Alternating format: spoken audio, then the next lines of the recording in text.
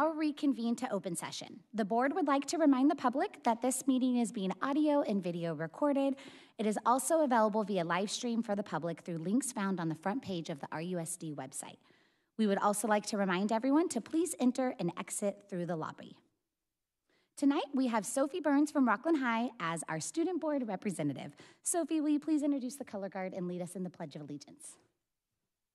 Ladies and gentlemen, please stand for the presentation of the colors by the Rocklin Unified School District's Junior ROTC Color Guard and the Pledge of Allegiance. The commander and U.S. flag bearer for this evening's color guard is Cadet Captain Ryan Manning.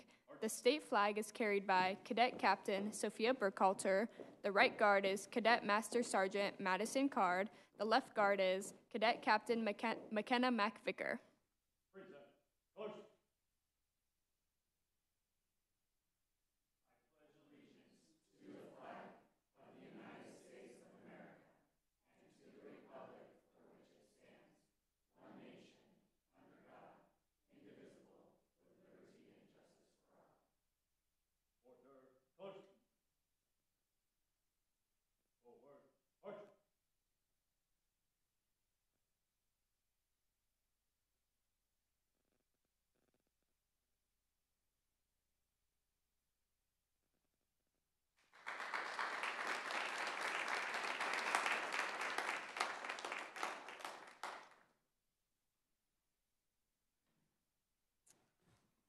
Thank you. Okay, we will now move to our special recognition and presentations portion of the evening. Chief Dosanjh, will you please introduce our family partners in education recognition tonight? Good evening, President Sadoff, trustees, and Superintendent Stock. The Family Partners in Education program allows the Rocklin Unified School District to recognize family engagement and involvement to help our students achieve excellence during the school year. Antelope Creek Elementary School Principal Brian Arcuri is introducing the Varner family for tonight's Family Partners in Ed Education recognition.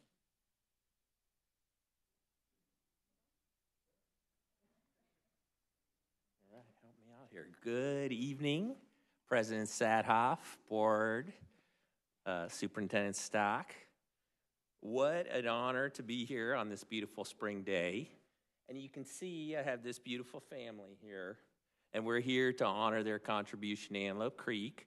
Um, specifically, Ms. Varner here, who is our current PTC president and has been on the board for how many years? Five? Three? Your husband says five. I'm going with your husband. uh, we're going to give you a couple extra credit years. But here's a fun fact, too. You were in your, the kindergarten, went to kindergarten at Antelope Creek and is now returning as a parent of these two fine. Where did Charlotte go? Oh, Charlotte.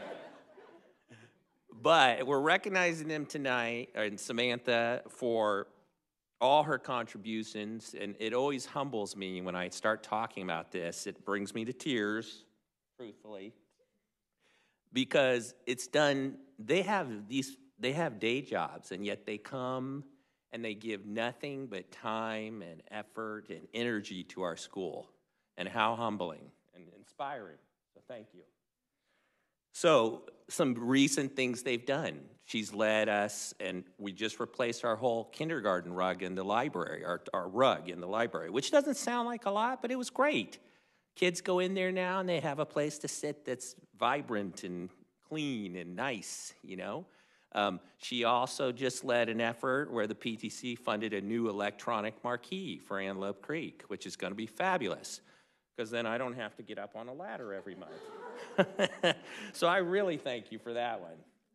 Um, what else? I mean, I could go on and on. Funnel hoops on the main yard, refurbishing the kindergarten yard. Um, what else? Class and school supplies, honoring our staff monthly giving back just unselfishly. So I want to honor your mom tonight. I want to honor you guys because, again, Charlotte and Jackson and Alan, her husband, also are always at these events and fundraisers, giving their time, helping out when they can too. And they have to give up mom, you know, uh, on certain nights. So that's big, right, to be without mom for a couple hours. So we honor her tonight. Samantha, thank you for everything you've done for Antelope Creek.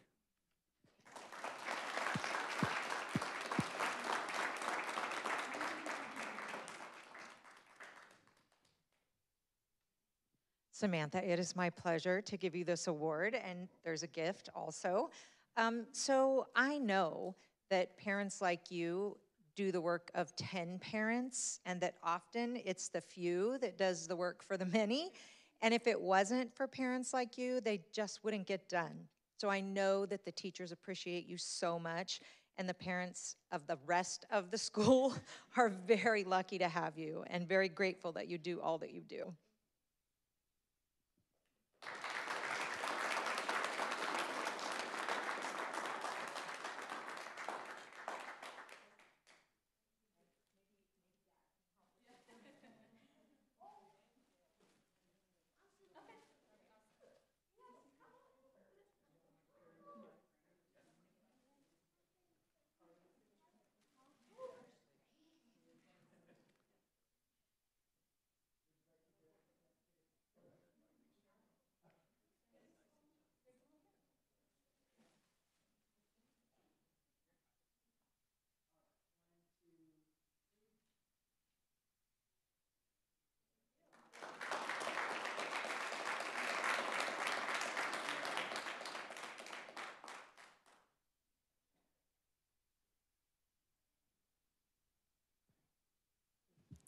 Thank you. Always fun seeing these presentations. It's such an important part of the night. Chief Dosanjh, will you please go on to our next item, our uh, employee recognition for the evening? President Sadoff, trustees, and Superintendent Stock, tonight for our employee recognition, Victory High School Principal Scott Hutton joins us to introduce Alicia Walker.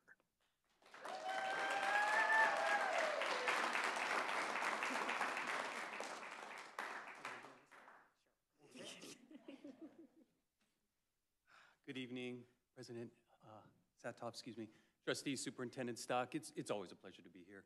Um, if you don't know, this is Alicia Walker, one of my dear friends and colleagues, and probably the most energetic and positive person on the planet. No exaggeration here.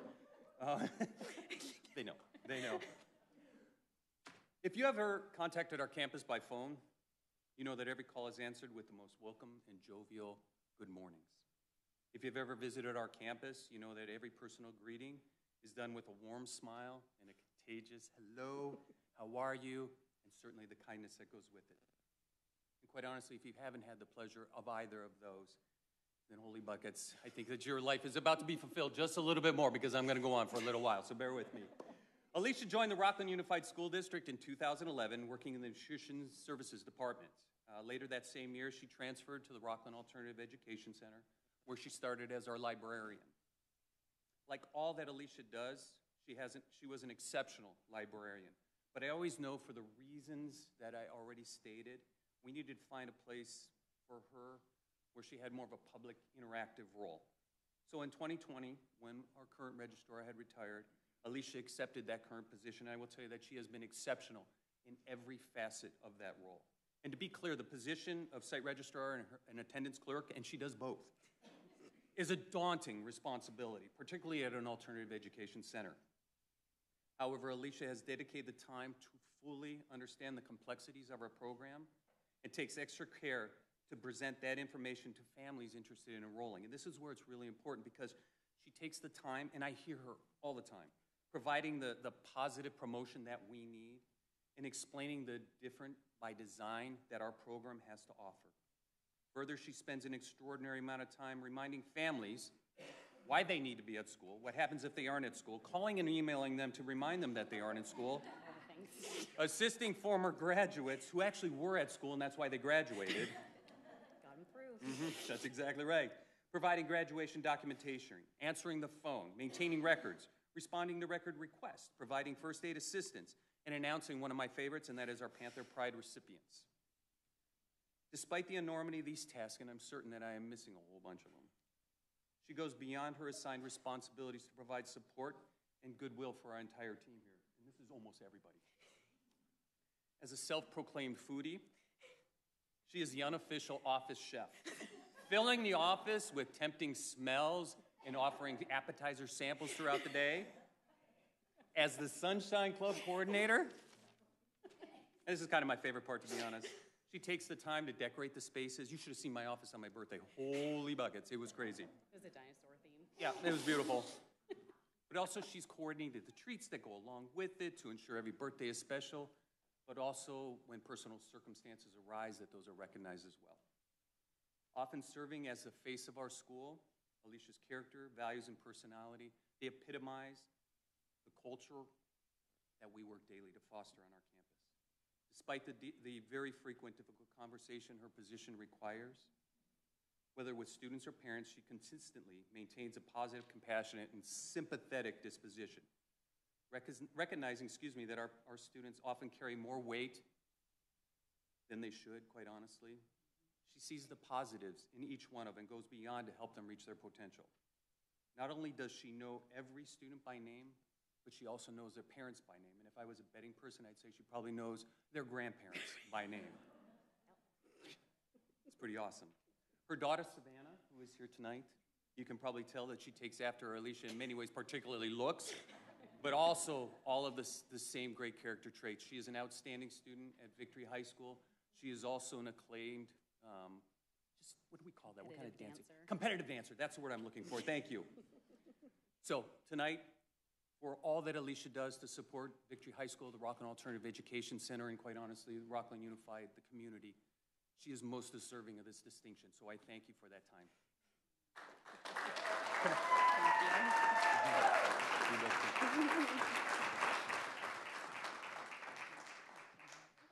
Oh.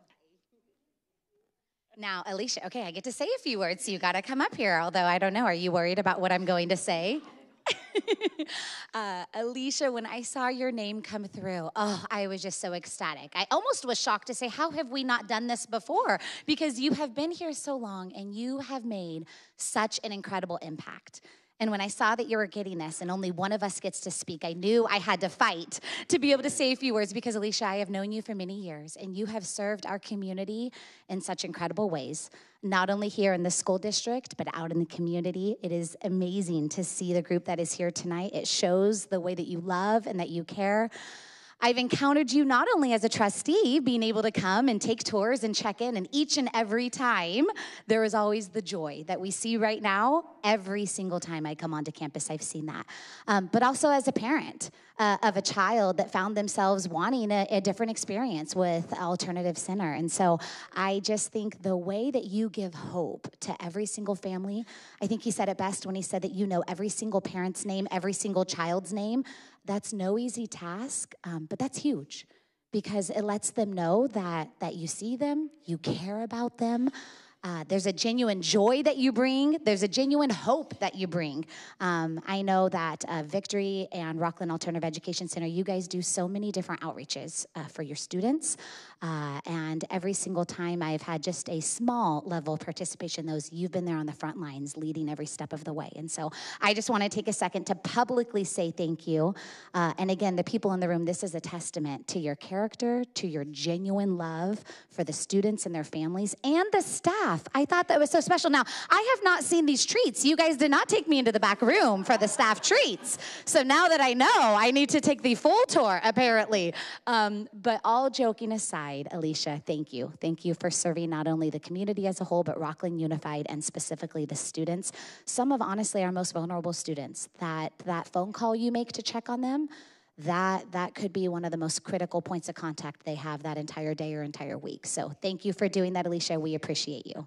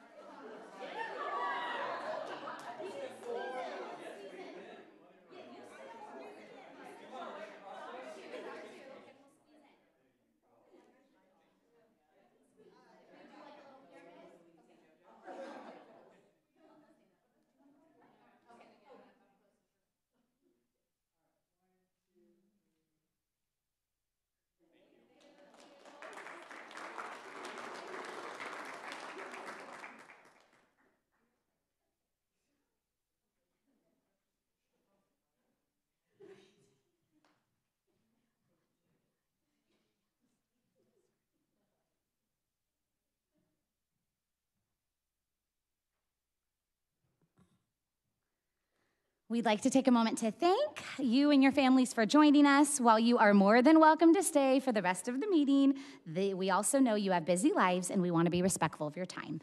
If you would like, you are free to go and enjoy the rest of your evening. It is fully appropriate to sneak out at this point. thank you again for joining us.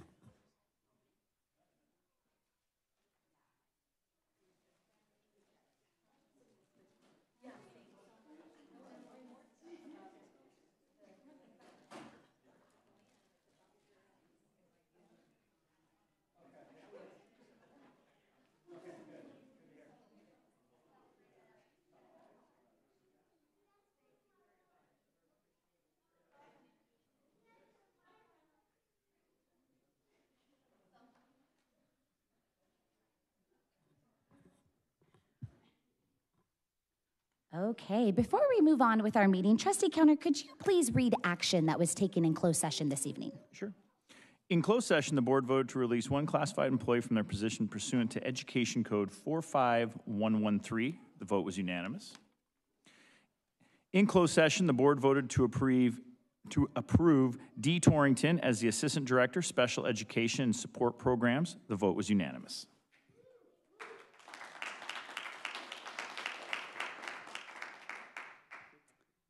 Thank you. Okay, we will now continue on with our meeting with item 6.1, uh, Rocklin Teachers Professional Association. I'd like to welcome Travis Majette for our RTPA report. It always feels like we have all this celebration and then there's us. so, in a good way, in a good way. Um, for those of you that don't know, Dee was a former bargaining chair for RTPA for a lot of years pretty much authored the like standard of special education contract language for not just us, but like for a state model too. So could not be uh, happier to hear her moving into that role. Awesome. Thank you, everybody that was involved. Thank you, Leslie. um, so I want to start off with uh, with some like opportunities that come about. I'm gonna I'm gonna put my teacher hat on for a minute. First off, good evening, everybody. Hello. Um, so I teach geography on the, the occasional days that I get to be at school and, and do my, my teaching job. Um, and I, I was kind of joking a little bit earlier with, uh, with Tony about such a good year to be a geography teacher in Rocklin because we have like real geography things happening right here in Rocklin that from, a, from an adult perspective and, and no um, no surprise, but from a board member's perspective, with uh, the remapping of our district right now is angst filling, and there's a little bit of, of anxiety around that. But what an opportunity to remind kids why maps matter and how important this class that I take just because I have to graduate might actually be when it comes to the real world. So, um, just a great opportunity to kind of bring that real world stuff, real world stuff in. Um, I want to give a shout out and he's only with us through this process, but Dr. Levitt and the way he has built and presented things for the public to look at and understand is I, have never been a part of this process or really paid a lot of attention to something like this, but talk about making it accessible to the community. There's a lot of information on there. And if you go in and a community, if you're listening, go in and look at the maps and the spreadsheets that go with them because it's totally layman's and, and palatable and understandable and and there's the why with it's not just the here's the thing but there's a why if you just take even just a few minutes to look at that so i'm just going to speak to that later and i'm not an expert by any means but just really appreciative of that process being one that the community that it's going to affect and involve can actually understand it and then from a selfish perspective a geography teacher can bring it into a, a conversation in a classroom. Um, I have that as a geography teacher, and then I'm in kind of the, the other side of, of uh, not just the literal world, but geography in real life, we have a lot of conflict going on in Eastern Europe and Middle East. And we teach those units and have for a long time in geography at Whitney High School. And again, it's an unfortunate situation, but it's, it's a neat time to be teaching that content. And then, oh, by the way, the stuff we taught you that was history that happened many years ago, like let's turn on the news right now we can see it like real life today, right? And again, it's an unfortunate reality of those situations, but again, just a great opportunity to be an educator in, in that content area. I get to be a little bit selfish with that. So, um, government at work and, and geography at work. And again, good year to be a geography teacher. So, on the, the occasional days that I get to do that. Um, really want to kind of focus my time tonight on the, the RTPA side, um, just on the labor work. First, want to acknowledge um, President Sadoff. We're playing email tag, and I know we got some things, but I really appreciate you reaching out after my comments last meeting Um, and for those that don't know, we're working on getting time together to work on some of those collaborative conversations that I was discussing with you guys last time. So I'm really appreciative of that. It sounds like we're going to finally get that opportunity next week. So I just saw your email when I got here, but really appreciative of that. Of that. Um, also of our, um, it's a limited capacity, but we have two trustees that get to join us in our labor work, and we had some some pull-out days last week, and so I know um, Trustee Hupp and Trustee Price got to join us for the the first part of kind of our day one. They sit at that steering level um, group with us, and it was great conversation at that group um, to have a task of where are we going with this, right? We kind of knew why we needed it, but we're past the need, and now we're at a place with our labor work of where are we going, and it was really fun to hear the conversations. Um, both with our board members there and then as the day evolved as well um, with expanded in different groups of there's a, a strong interest to have a, a common goals obviously um, but we I, it was a great opportunity for us to use the lcap as kind of an anchor or a starting point for that labor work to transition from relational to teaching and learning right? The whole job that we're actually all here to do. Um, so it was really cool to see that shift in focus.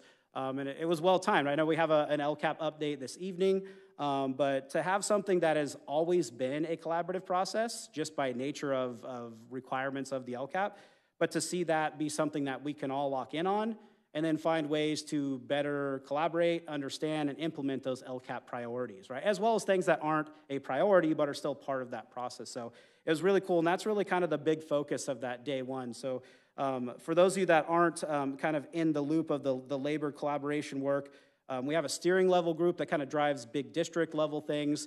We've expanded that out to have intentional relationships through different departments and different leadership, both in RTPA, district, and where we even got to conversations of who else can we start bringing to this room and what other groups and, and partnerships can we start building.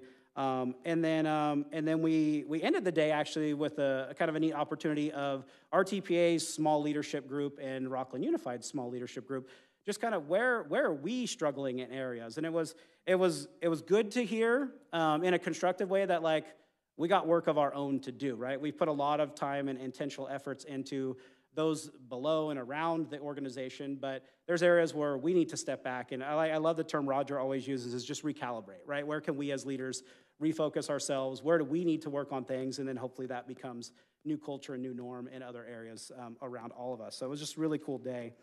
Day two was probably my favorite, though. No offense to everybody that was at day one. But day two is uh, this time was our site, our site kind of level focus. So we brought all of our site reps um, teams, we brought our principals, um, and we even at the high school level, we were able to, to fold in an assistant principal. So we were able to kind of grow that group a little bit there as well. Um, my favorite part of the day was um, the work was very organic and very intentional but with like no boundaries other than like, hey, here's your lane and here's my lane, but we've got like five lanes of play space in the middle. Um, we got we got to see opportunities of collaboration happening from like we need help, help guide and, and kind of hold our hand in this journey to like we got this and uh, i actually got an update from my own site today and, and i'm not officially part of that labor team but i'm indirectly there um, and they had a great offsite workday, just kind of really celebrating the accomplishments that they were able to do, right? They're in a different place, um, as all the sites are, where they're really kind of able to sit back and just look at the successes and not just look at where do we need to work next, but let's just enjoy the moment, right? And the good that we've already done and, and kind of grow from there. Um, but again, my, my favorite part of the day was a new element we folded in where we added some layers of consultation, some close, intentional conversations um, we leaned into our labor leaders um, that, that come and partner with us, and they, they were able to partner with some site teams and do some work there. And then Roger and I got to go sit in a room. Now, I'll, I'll remind you guys there are conference rooms in this building that have zero ventilation. So if you get a choice, don't pick those conference rooms. But um, we sweated through it, and, uh, and we had just some overwhelmingly positive conversations with sites. And it wasn't that everybody came in there and sang praises, it was that everybody came in there and had a level of trust and comfort and safety where they could look the superintendent in the eye, they could look the union president in the eye, and tell us where do they need help and how can we need help or how can we help them. Um, and they came in there with realistic expectations, right? Nobody came in with a, we need to start from square one and level everything and, and redo it. They came in with, these are some challenges. These are some ideas we have to overcome these challenges. How can you help, right? And if nothing else, people felt heard. And right, if you know anything about collaboration, sometimes that's all that's needed for people to be able to move and work together. but it was the commitment of Superintendent Stock to sit there with me. And then a huge kudos to all the teams that did get a chance. We didn't get a chance to meet with everybody, just time constraints.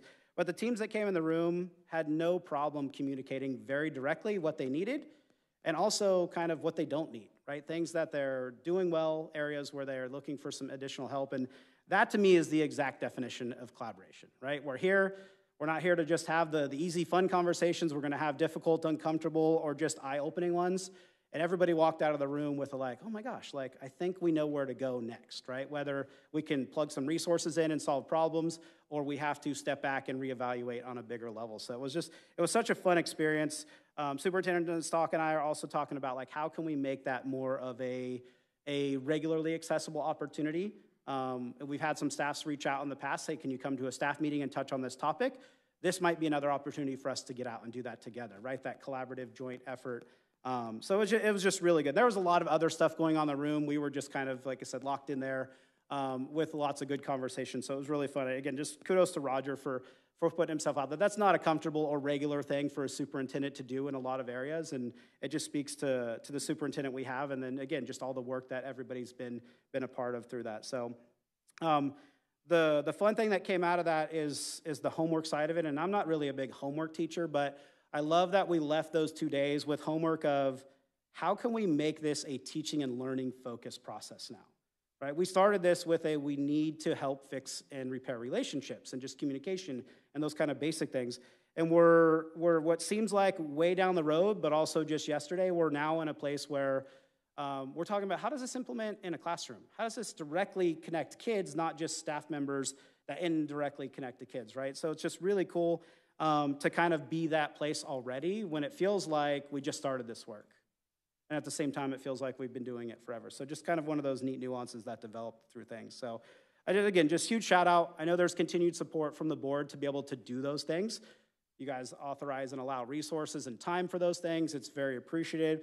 Um, again, I'm hoping that, that um, once uh, President Sadoff and I get an opportunity to sit down, we can kind of continue some conversations and we'll just keep kind of that, that ball rolling um, as we go into it. I mean, we're in that spring sprint now, is what I like to call it, whether you're running away from allergies, you're running to graduation, or you're running to not go to summer school if you're a high school student listening to Mr. Mojet tonight do your homework. Um, but, uh, but just what a great place to be as the weather changed and the positivity, that kind of energy that comes with that. So, again, um, huge shout out to all the people that were involved in the collaborative work. And there's a lot I'm not mentioning. I'm, that just I don't want to be up here all night. But uh, but again, just a, a, great experience last week and a, just a fun opportunity to just sit and have conversations. Sometimes that's a simple thing like that make, kind of makes all the difference. So that's all I have for you guys this evening. Um, I'm going to go back and sit and be the other person in the room with you. So thank you. Thank you, Travis. I appreciate the conversation and the update on the labor management work. Uh, I know those are two very full days, so thank you for the update for those of us that can't all sit on that since we're only allowed to have two board members on that. And I do too look forward to us meeting uh, next Wednesday, so thank you very much. Uh, moving on to our next item. Uh, actually, uh, tonight uh, we do not have a report from CSEA, although we're incredibly thankful for their work. So we will continue uh, moving on to item 7.1 comments and report from Student Board Representative. Correct? Okay. Student Board Representative Sophie Burns, will you please share your report for the evening? Good evening, trustees and Superintendent Stock. Here are a few updates from our schools. Cobblestone was so excited recently to have two amazing employees honored by the district. Dave Mazon was honored as District Paraprofessional of the Year and Brittany Luttrell as District Counselor of the Year. Over 350 students received perfect, excellent, or improved attendance certificates at the end of the second trimester. Student leadership continues to support students with practicing character traits with monthly assemblies and is currently working with Whitney High School leadership to raise funds for the Leukemia Society. PTC has scheduled a family dance on April 12th and campus beautification projects on April 20th. Go Cougars! Whitney High School is getting ready for Multicultural Week starting on the 22nd. This culminates in Culture Fest on the 26th from 6 to 8 p.m. Also coming up are Junior Prom on Saturday the 20th and Senior Ball on May 4th. Sunset Ranch has been having lots of fun as their spring book fair and first annual PTC International Fair was a huge hit. So many of their families participated and shared their cultures. Such an amazing learning opportunity for students to learn about others. This week, they had a PTC PTC sponsored skate night at Skate Town. It was a glowing night. They are also gearing up for Earth Day with the help of their own culture crew and leaders of the pack, student leadership, with a special week full of activities and spirit for campus during the week of April 22nd. They are going green there at the ranch. At Breen, second grade is performing Rumpus in the Rainforest on April 17th and 18th and an evening performance for parents on April 18th. They have been practicing very hard and look forward to performing on stage. Their third graders have been studying the fascinating history of Rocklin. They visited the Rocklin History Museum last month. Last week, they traveled back in time to the 1890s with a visit to the Bernhard Museum for Living History Day. Their students spent the day doing chores as children did in the 1890s. This is a day their students and parents will never forget. At Parker Whitney, they held their annual talent show with many students displaying their musical, athletic, and dance skills. They also had a surprise staff dance number. Their site also had a food drive for their local high school students who are food insecure. They are looking forward to their book fair next week and their annual root beer float night with the Panther community. Quarry Trail students have attended field trips to Coloma for the Gold Discovery Tour, the state capitol, and the Roseville Theater. These field trips are opportunities for the students to enjoy hands on learning experiences. This week, Quarry Trail has honored the volunteers who have helped them all year to make the school a great place. They had a morning reception honoring families and community helpers. On April 19th, the Quarry Trail PTC will be hosting the Spring Carnival. The theme is the World Fair. There will be culturally inspired games for the students to play and food trucks that will provide different ethnic foods. Quarry Trail will kick off its Spring Book Fair on April 19th, along with the Spring Carnival, and will open until the 25th. It's going to be a couple of weeks filled with fun and excitement at Twin Oaks Elementary. Snowy King will be at Twin Oaks every other Wednesday, just in time for the warmer weather. The PTC is hosting their spring festival on Friday, April 19th from 5 to 7 p.m. They are grateful for the support of high school volunteers from Rocklin and Whitney High School, who will make this event even more special. Their talented third grade Timberwolves are practicing for their upcoming play, Going Buggy, which will be presented next Friday, the 26th. Next Friday is also Spirit Day. Staff and students are invited to dress up as their favorite book characters. They are all looking forward to the next few weeks and know that they will have additional events before wrapping up this school year. Rocklin Elementary just wrapped up a successful bingo and book fair family night last Friday. In addition, Bulldog Country continues to offer after school clubs for students. This spring, they are offering wall ball, pickleball, disc golf, kindness, book, and volleyball clubs. There's something for everyone. Sierra Elementary wants to thank the PTC for their support of the school dance show Dance is Joy, a celebration of cultural dances from around the world, directed by International Dance Art Academy. Through a collaborative partnership with Sierra's VAPA and PE programs and several Sierra parent volunteers who provide their cultural expertise and resources to enhance this program. During the dance show, Sierra students had the opportunity to practice their IB learner profile attribute risk taking by performing in front of an audience of peers and supporters. We are very proud of them all. Sierra's PTC also led a successful and fun school auction at Whitney Oaks Country Club to fundraise to support staffing for Sierra's Spanish classes required, required by the IB program and many other program enhancements at the school. The Sierra staff is incredibly grateful for the hard work and support of their amazing parent volunteers so that Sierra students can learn a second language and develop the IB approaches to learning intended to launch them into the world as internationally minded students. Lastly, Rocklin High School just wrapped up Sadie's Week with many fun lunchtime activities, such as a movie and popcorn and large gym, and wrapped up the week with a very spirited rally and a great dance. Now Rocklin is preparing for their senior prom next Saturday.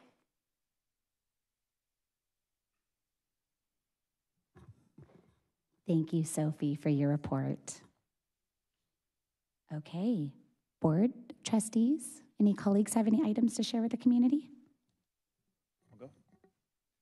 So, um, again, had a, had a great event. Just want to comment. So we had the third annual Crystal Apples Award, Crystal Apple, sorry, not Apples, Apple Award Night um, on Sunday, right across the street.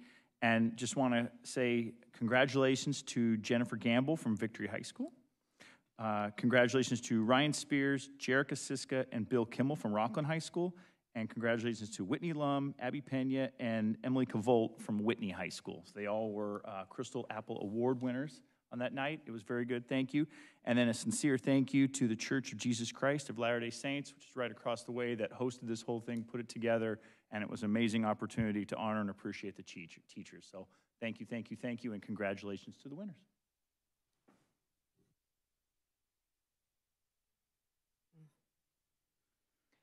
Uh, Appreciate what you said, um, Travis, about labor management. Um, You know, we were only there for two hours, but um, appreciate that relationship and how things are going, and glad to hear about the other, the rest of the two days.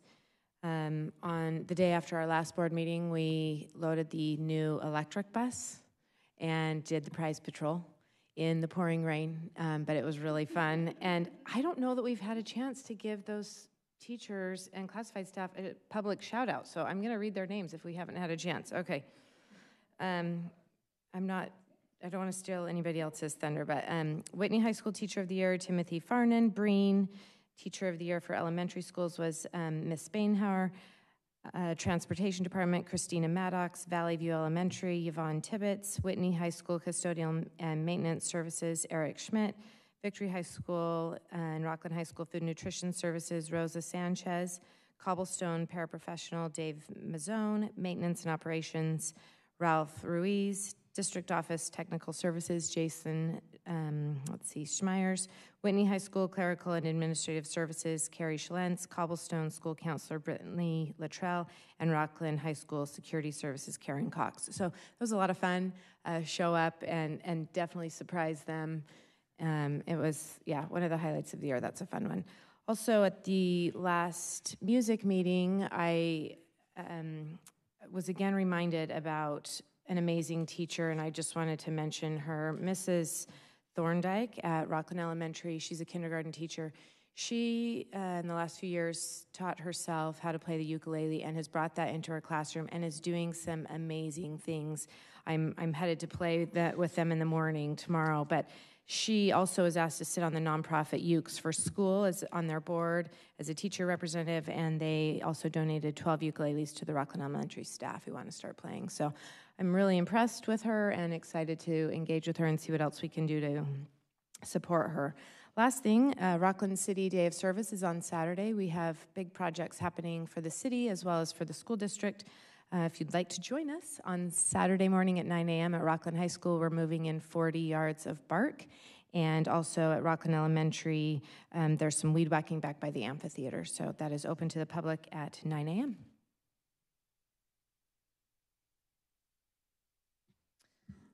Okay, I too just want to say the Crystal Apple Award ceremony was amazing. It was so fun to go and honor those teachers. They were uh, voted uh, award recipients by their students. So the students actually got to get up and give a speech about their teacher, and then the teacher came up to accept the award. And it should be said that this was planned and uh, initiated by Trustee Price, who did tons and tons and tons of work to make this happen. Um, and then it's been a, a, very busy month, or not even a month. I mean, it has been. It's been a busy month. Um, but looking at uh, the maps, um, and I know we're going to talk more about this in a little while, but there's been um, 10 maps submitted so far, and um, lots to look at, lots to consider, lots to think about. I hope everybody is looking at them, pulling them up, and uh, considering what it might mean to them. And it actually, Travis, would be such an awesome assignment for your students to create one of those maps and learn how to use the tools. Um, I think that should be the homework tonight. Um, so uh, it was really, really fun to hear about all the exciting things that are going on around the district. And since it is the spring sprint, it was exciting to hear about the dances and the proms and balls and all the shopping that's happening out there right now. Um, I want to give a shout out to Craig Rouse. I have been picking his brain and asking him a million questions um, in just trying to understand maintenance and operations and why we go with portables over um, actual stick-built buildings. Um, it is, I've been doing a deep dive and talking to lots of different people, but um, everyone I talk to just basically confirms everything that Craig has said. I do still have a couple more questions about sleepers and gravel, but um, I, I have super appreciated all of your information and the time that you took to show me around and to answer all my questions. And that's it. I feel like you guys have covered a lot. So um, I, I second all of that. Um, yes, thank you, um, you know, Trustee Price, um, for what you did to plan that event. It was really, really nice. Um, and thank you also for listing off all of the names of the employees who were recognized. I think we all kind of were thinking to do that, so thank you. Um, the only other thing um, that is kind of fun is um, my oldest daughter has had her second girls flag football practice slash game um, on Sundays, and after one practice slash game, I love it because it's all in one day. You just like go get in, get out. Um, but she's like, I'm going to play in middle school. I'm so excited. I love it. So I'm very excited that these activities are kind of feeding into these new programs and getting kids excited about it. Um, and thank you, Sophie, for all of your updates. Um, I will be at the Quarry Trail Carnival on Friday, and I actually even got my husband to sign up to work at a booth too. So every booth is going to have its own cultural um, game from a different part of the world. So we get to learn how to play those and teach the kids, and it should be really fun. Thank you. Sophie, thank you again for your report. Uh, I loved when you mentioned uh, the Bernhard Museum. Uh, one of my favorite photos of me and my daughter is us dressed up uh, when we went on that field trip. Uh, I, I don't know if she loves it now at this age in her life. Um, I think she's more embarrassed, but I think it's a, a beautiful, fun memory, uh, and I think it's a fun experience for our students to participate in that. So thanks for highlighting that. Um, yes, that what was that? Spring sprint? Is that the phrase? Um, yes, I, we're feeling the spring sprint, um, but I will say one of the things I love about spring is it gives us a beautiful opportunity to show appreciation and thanks uh, to many, many people that do incredible work, and then we celebrate all that with some beautiful graduations at the end of the year. Uh, so we. Are in that season of celebrating and appreciating. Crystal Apple Awards Night was a beautiful opportunity to celebrate uh, teachers nominated by their students. I thought that was very powerful to hear from the students themselves why they nominated their teachers. Um, and what I heard consistently across their board, the board was uh, my teacher sees me, my teacher cares about me, uh, my teacher has fun with me. Uh, I, I have joy when I go into my classroom with my teacher. Um, it, it was really powerful to hear the things that our students were saying. So thank you uh, to those teachers and the many more. I'm sure many of those students would have nominated 10, 15 people if they could have.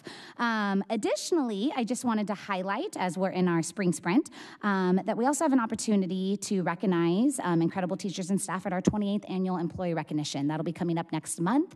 Um, but I wanted to highlight it because nominations are due soon uh, by April 24th uh, to the site department um, admins. I know an email went out um, but employees get to participate in this. And so uh, I look forward to May 23rd recognizing, but just highlighting again, nominations are due by April 24th.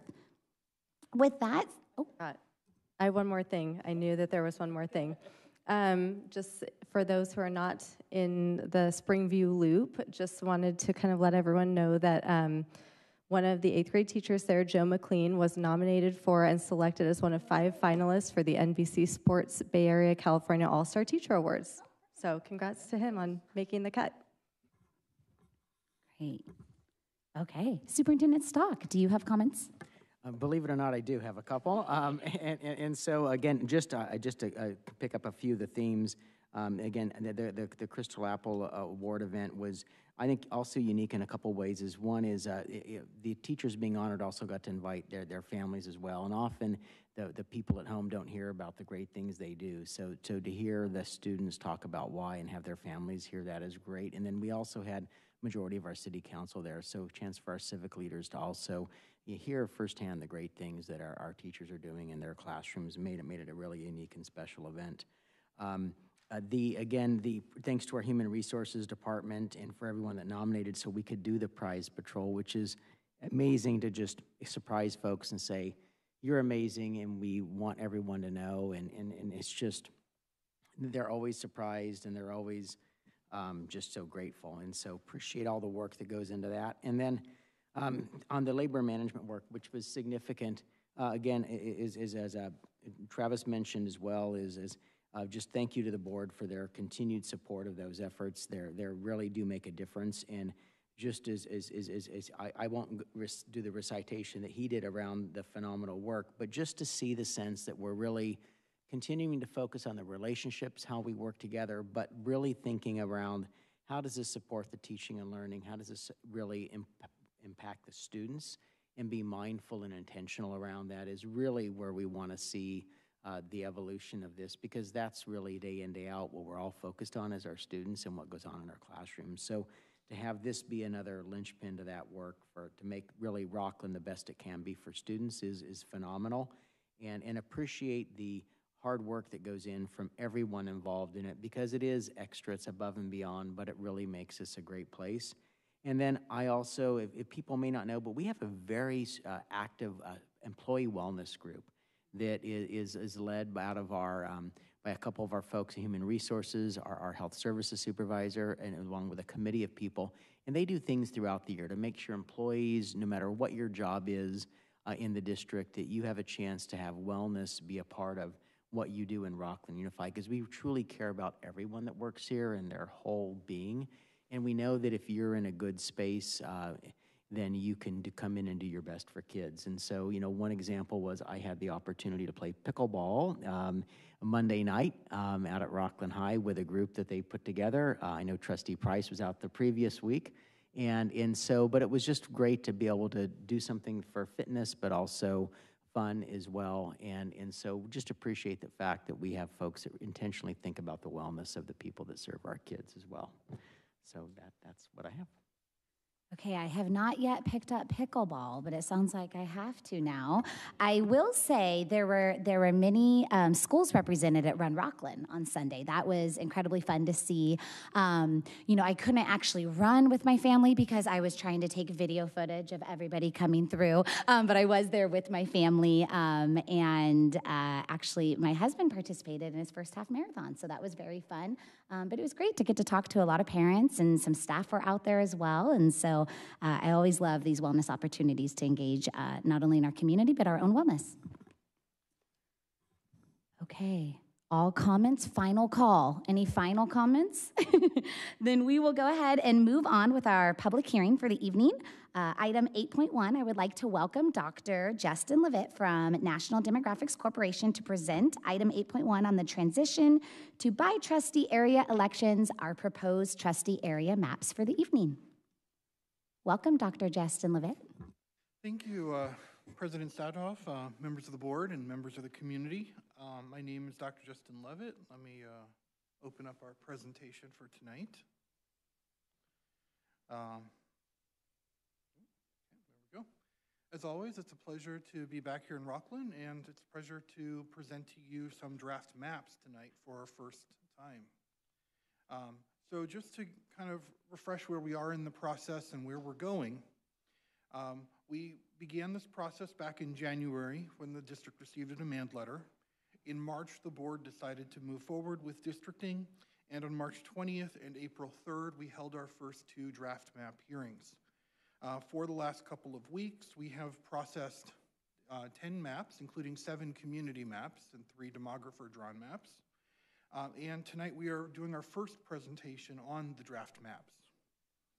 Following tonight's presentation, there's another opportunity for members of the community to submit maps before the May 1st public hearing. Again, we have that window uh, so that there's enough time for us um, to process the maps and to make sure that if we need to reach out or if we need to, if we have any issues with the maps and we can reach out to people who submitted them. Um, I'll tell you, we were, we were getting maps all the way up until midnight on the night that we were accepting maps last time, and we certainly uh, welcome that. But we do have that because we do have that window in order to make sure that we get those processed for the deadline we need to post by. Um, that deadline doesn't come from us, it actually comes from the state of California that says that all maps must be publicly available for viewing for a full seven days, you know, full week, before they're presented at a public hearing at which they're discussed. Uh, so, the, so our deadline is April 19th so that we can get the maps published on the 24th for our May 1st hearing. That'll be our next discussion of the maps. Uh, following that, the final map adoption hearing will be on May 15th. Um, again, if there are any revisions or need for changes, we'll have another window before those maps will be posted um, by May 8th. And then following that, uh, the map gets sent to the County Committee on School District Organization for Placer County. and they'll hold a hearing here in the district. That's where they will confirm or, um, the change of election system from at-large elections to trustee area elections. Um, And kind of as a reminder, these trustee areas um, will be used through the 2030 election. Following the 2030 election, when we get the census results back in 2031, the district will have to make sure that districts or the trustee areas are still in compliance with all federal and state law that exists at that time. Um, And again, every 10 years thereafter. Um, Just as a brief reminder, this doesn't affect where your child attends school. This also doesn't affect the fact that all board members are responsible to all the residents of the district. Um, And this is really just about that method of election of a board of trustees. So just to kind of briefly talk about our rules and goals, I'm not going to spend the length of time we did in the first two hearings on this, but I do want to kind of start with these as our evaluation criteria. So, for example, um, all maps must comply with the federal requirement that districts have the same number of total residents. All 10 of our maps do comply with that criterion. Uh, similarly, all maps meet our Federal Voting Rights Act requirement. Uh, it is not possible in this district to draw a majority protected class district. Um, so uh, we did evaluate all the maps for that, um, but that's not a requirement here. Um, in the middle column are California criteria, geographic contiguity. Really fancy way of saying, you know, that's a good term for the AP geography students, uh, that the district should have one outside boundary. All 10 of our maps actually meet that criterion as well. Uh, there were a couple of maps that didn't on submission, but we fixed the very minor, it was always zero population changes we did to make sure that they did meet that criterion. Mostly just streets that were misassigned, like literally the width of a street. Um, avoiding divisions of neighborhoods and communities of interest is our next priority. This is where I think a lot of our differences between our maps stem from. And this is something we're going to come back to as we look at the different maps, um, because these are prioritized in this order for a reason. If there is an issue, for example, with a, a map that, say, doesn't follow a major street, but it doesn't do so because there's something we're trying to keep together in terms of communities of interest, that's a valid reason for doing that. Um, I'm going to skip the third criterion because that didn't really apply here. We do have some non-populated segments of both Roseville and um, Lincoln in the district, but they didn't really affect any of the boundaries here. Uh, so easily identifiable boundaries, this is something like following major roads or other natural and man-made features like rivers, canals, parks, things that serve to divide communities. I'm going to come back to this criterion as I look at a couple of the maps. And compactness, which the law defines as not bypassing one group of people to get to a more distant group of people. Um, one of the real challenges in the geography as we looked at drawing the maps is that some of the blocks, especially, and this is true of any city that is more recent and has a lot of cul-de-sacs or canyons or other sorts of geography, um, just on the west side of the train tracks, there is a very long block that sort of stems from the northern end of the city, almost 75% of the way down the city. And so I know that it impacts every single map. That's something we can't do anything about in terms of compactness. But there are some other couple cases where I'll point out where it looks like the map has been drawn to bypass a neighborhood. Um, and if that's the case, maybe we can justify it with communities of interest. Um, as you know, we looked at the maps. None of them, I, I don't think any of them are, uh, you know, a violation of the objective criteria. So I think they're all justifiable. Um, but there are a couple that we'll talk about that look um, like they could be improved slightly. Um, and that, lastly, the prohibition in the third column. Um, maps should not be drawn for the purposes of favoring or discriminating against an incumbent, political candidate, or political party. Uh, these maps were both drawn and all 10 of them were analyzed, blind to where the current board members live, blind to the partisan makeup of each of the five trustee areas. Um, and finally, if, if there are other factors that we want to consider, such as trying to equalize the number of school sites, for example, between the districts, trustee areas, um, that could be taken into account, but only after everything else we're talking about that's required by law. Um, now, the maps are available on our interactive web viewer. Uh, This is a great tool we have online on the district's website that allows you to zoom in and out, um, select districts and see some statistics or demographics for each district or trustee area. Um, You can also overlay it on everything from topography maps to um, the demogra, some of the socioeconomic demographics that we've talked about previous, in previous presentations. So we linked that in this presentation, but we really encourage you to uh, view the maps there. Um, We're going to go through the maps um, individually. If there's, if when you do your public comment or when board wants to make a comment and refer to a specific map, we have each of them on a slide so we can pull them up as needed. Um, We'll start with, um, our first few were community maps that we received. Um, In fact, 101 was received the same night as we did our last presentation, I believe. Um, And, you know, and, you know, you'll see that there are some differences and similarities between the maps. Every map, I think, has one trustee area that is in the very eastern end of the district. So it includes especially all the areas east of interstate, of the interstate in I-80.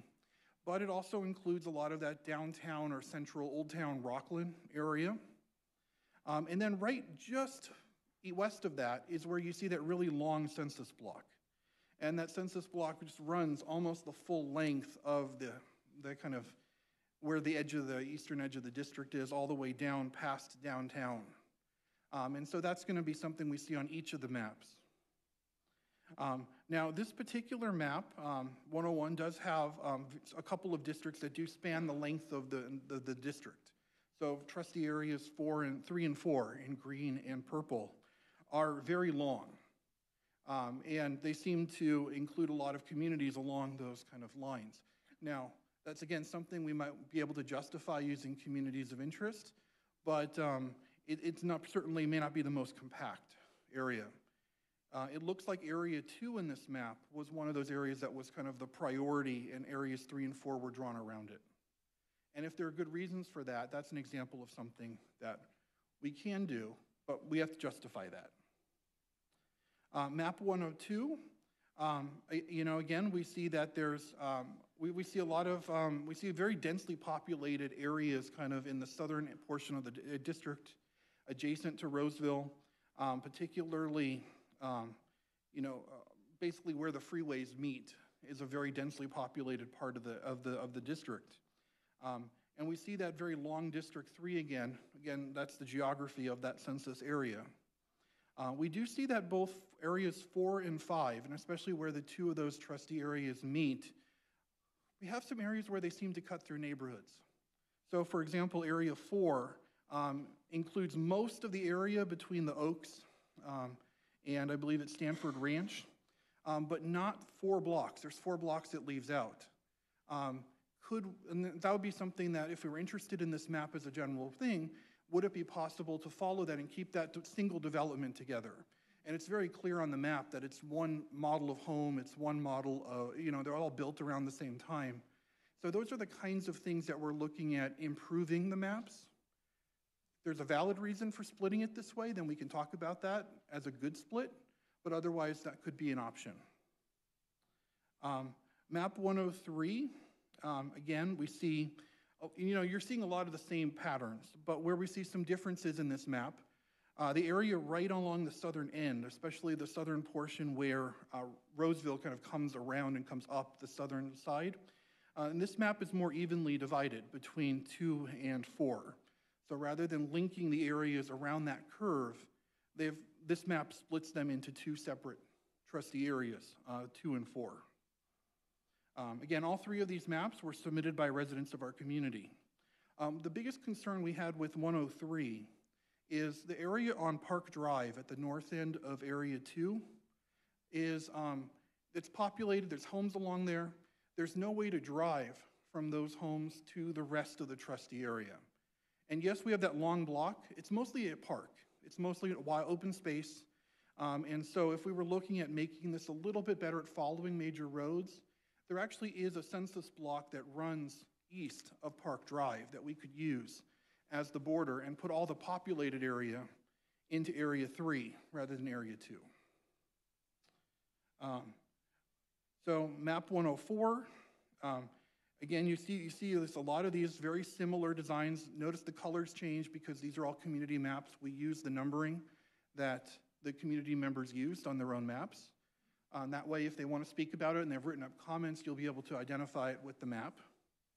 Um, but some people started with one on the northwest corner, other people started with one in Old Town Rocklin, and so we have different colors and different numbers. Um, map 105 is the first of our um, NDC, three NDC drafts. So the NDC drafts are 105, 106, and 107. Um, and I can talk a little bit more about these, and we do invite community members to come and speak about the maps or write up their comments in the emails that they sent. Um, all of those emails um, with their, you know, with the comments will be provided for you if they include them. Um, one of the things we were looking at doing in this map um, was, you know, first of all, using the attendance areas as much as possible. And I think one of, you know, maybe 106 is kind of the best example of this, but uh, 105 was, that was definitely a priority. Um, we really wanted to create, um, I almost called them like um, quadrant areas. So um, using the major roads and, and division lines to try to um, create a northwest, a southwest, um, a southern, and an eastern or district, um, including trying to keep all of the gridded streets in the Old Town Rocklin in one area, um, and trying to keep all that high-density apartments mostly along the south end of, this, of the district together as well. Um, so this one was really highly emphasizing those compactness in major streets. Um, attendance areas played more of a role when we drew 106 um, particularly creating that northern area um, that kind of tried to follow a lot of the, the attendance or um, school boundaries in the north end of the um, north end of the district to the extent possible. Some of them cut across those that, that long block line, but um, where we could, we tried to follow the attendance area boundaries here. Um, one of the things we also tried to do in this map was get the middle school in, into Area 5. So in crossing from the gridded streets um, into where the middle school is just across there, uh, to include that and make sure each of the trustee areas had a, a minimum of uh, three school sites um, to the extent we could. Uh, map 107, um, you know, again, um, you know, we're seeing a lot of similar patterns here. I think we, looked at um, a lot of similar factors to 105 as well, um, but tried to keep more of the um, you know, central area, um, you know, um, in, in central, or sort of the central parts in areas, um, in areas uh, two and four, and not quite come down quite as much with an area, or not, not coming down as far. Um, you know, um, so again, we just see some similarities and differences in the different maps. You know, we try to use as much of the major roads as possible in these maps um, and do something different than we were seeing in the community maps. We obviously don't want to create just the same map with minor changes at this point in the process. Um, and then we get to um, more community maps. These are the three community maps that were received at the end of the day, 108, 109, and 110. Um, in fact, 110, I believe, was um, received at 11 p.m. on the night we had our cutoff. So um, 108, um, I think you're going to see this in, a, in 110 as well. Um, it's on the south end of Area 2 in this map, the blue area. Uh, the wraparound um, to get the elementary school, um, that, that's less than perfectly compact because you're bypassing the communities kind of uh, adjacent to, between Antelope Creek and um, the, the, the, road there. Um, and so those would be the kind of things that we could look at adjusting if this was a map you like the general feel of. Um, and then map 109, um, you know, again, we see a lot of similar features. I think a lot of the community maps really try to create minimal deviations. Um, and I'll just briefly go. Map 110, for example, had a deviation of less than 1%. Um, but in order to get there, you can kind of see the border, especially area 3 in green, kind of jogs back and forth in order to get that low deviation. Um, I would encourage you to think of, or if you like the idea of 110 and the general shapes, we could align, for example, that Area 3 border much better to the major roads within the district, like uh, Stanford Ranch, for example. Um, but um, we were presenting all of these as we, we receive them. And that's our commitment, except for those zero population areas to ensure that the district, the, the, the you know, that, that it's legal. We're presenting you exactly the map as we receive it. In addition to the maps themselves, we also have sequences of election um, with, that accompany them. Um, and each of these um, has basically three, two, two areas have to be up in 2024, three areas up in 2026.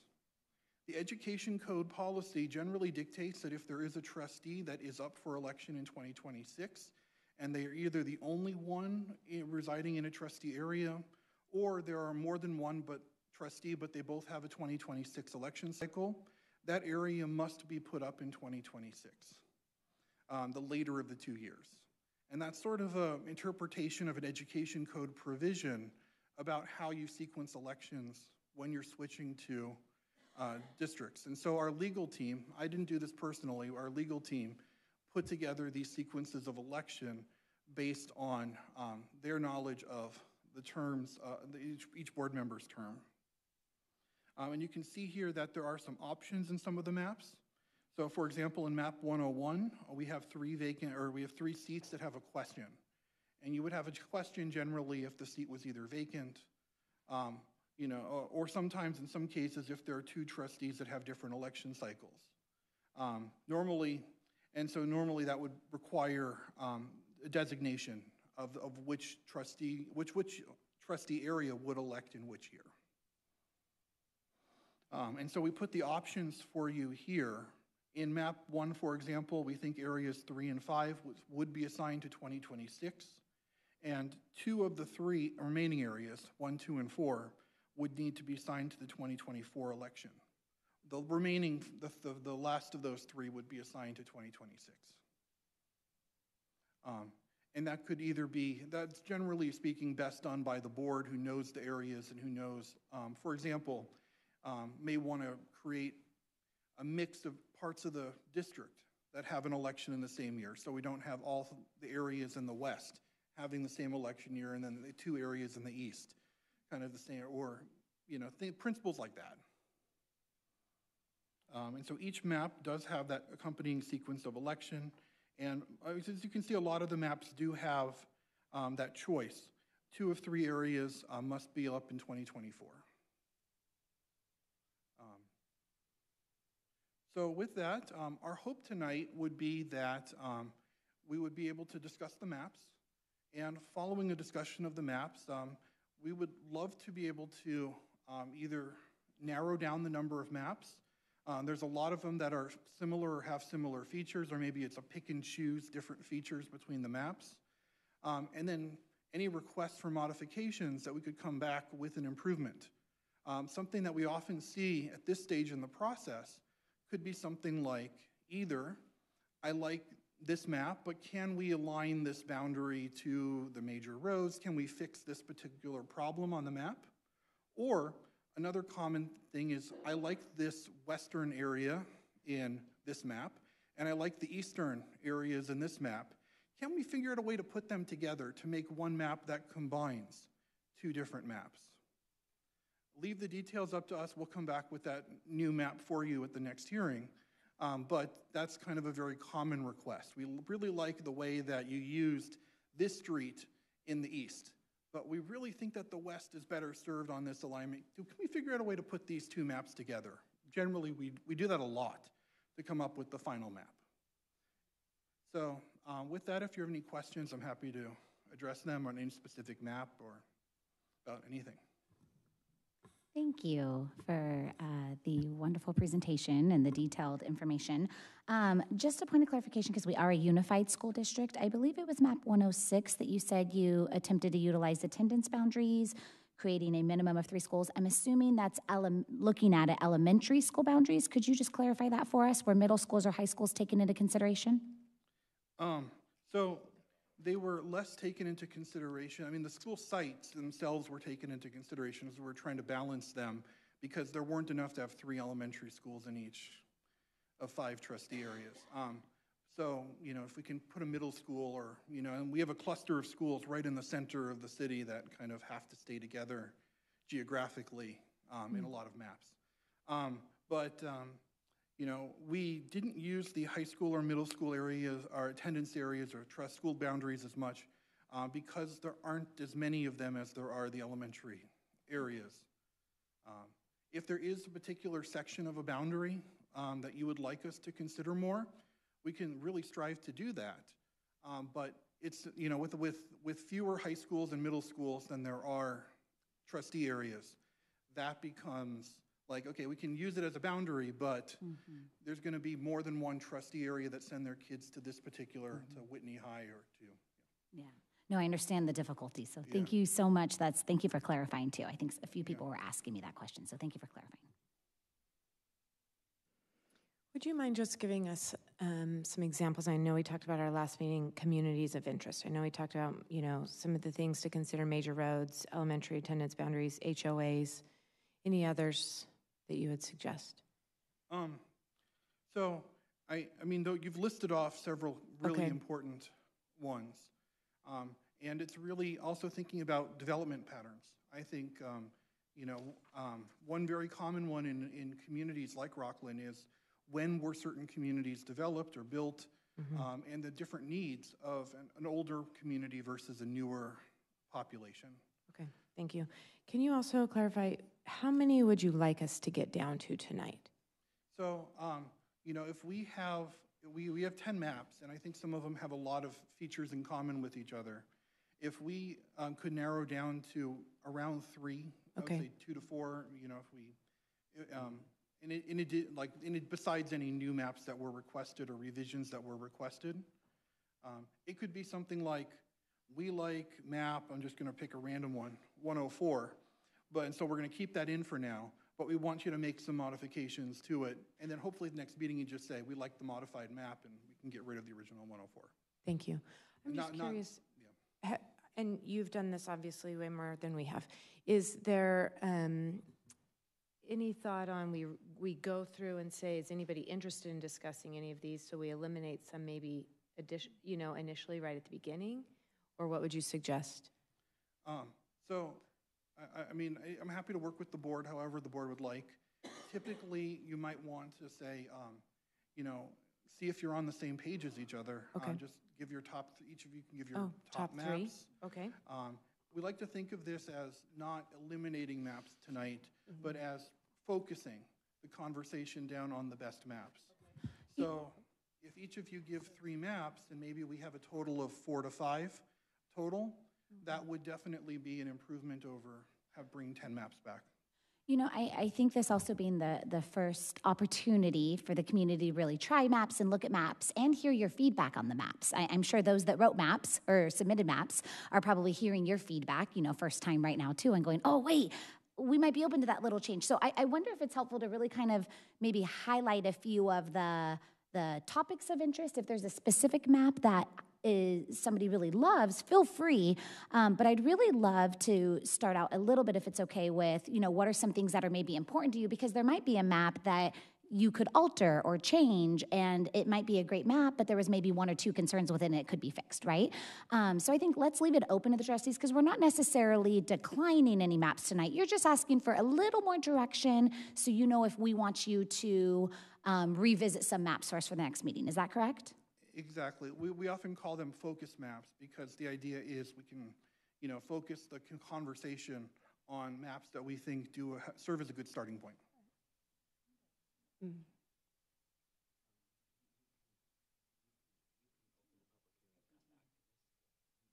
Just to clarify for the community, um, I just want to make sure we open the public hearing for those that have submitted cards too. But um, because you have given the presentation and the board does have the opportunity to talk with you, it is appropriate for the board to ask some questions of his presentation and talk with him before we formally open the public hearing. I just wanted to clarify that. So I'll start out by just throwing out, um, I haven't um, had a ton of feedback from the community yet. I think everybody was probably waiting to hear your response to the maps. Um, but I have seen some interest in, um, in HOAs or developments staying together. And I did notice several maps kind of did break up some of those. Um, and so I, I, again, I just share publicly. I, I've heard some interest about that. You know, we do have some developments in our community, HOAs in our community, that there, you know, uh, Dr. Levitt, if there may be an HOA community that had sections of the development built at different times. Um, have you seen that where if a map is built by when it was built, you may actually, they'll be breaking up that HOA group. Um, so I'm a little concerned about that. What are your thoughts on that? Oh, absolutely, and I, I agree with you. And um, I think there's, I was giving examples of things that could potentially be communities of interest, but um, I, I grew up in a community that was a planned community that started construction in 85 and ended in 99. So I certainly know, like, it's, a, it's very much a community of interest, but it has that development history. Um, and so what I wanted to say was, like, in some cases, the, you know, this is really one of those things where communities of interest can depend on even the neighborhood we're talking about. And so for some neighborhoods, this particular community, um, just to give a couple examples, I know in Sacramento, you know, Natomas, for example, built out over a period of 30 years, but they have a clear community of interest despite that. Um, on the other hand, you know, in other neighborhoods, it might be more appropriate to talk about, well, these homes are all date to, you know, 1920s and 30s.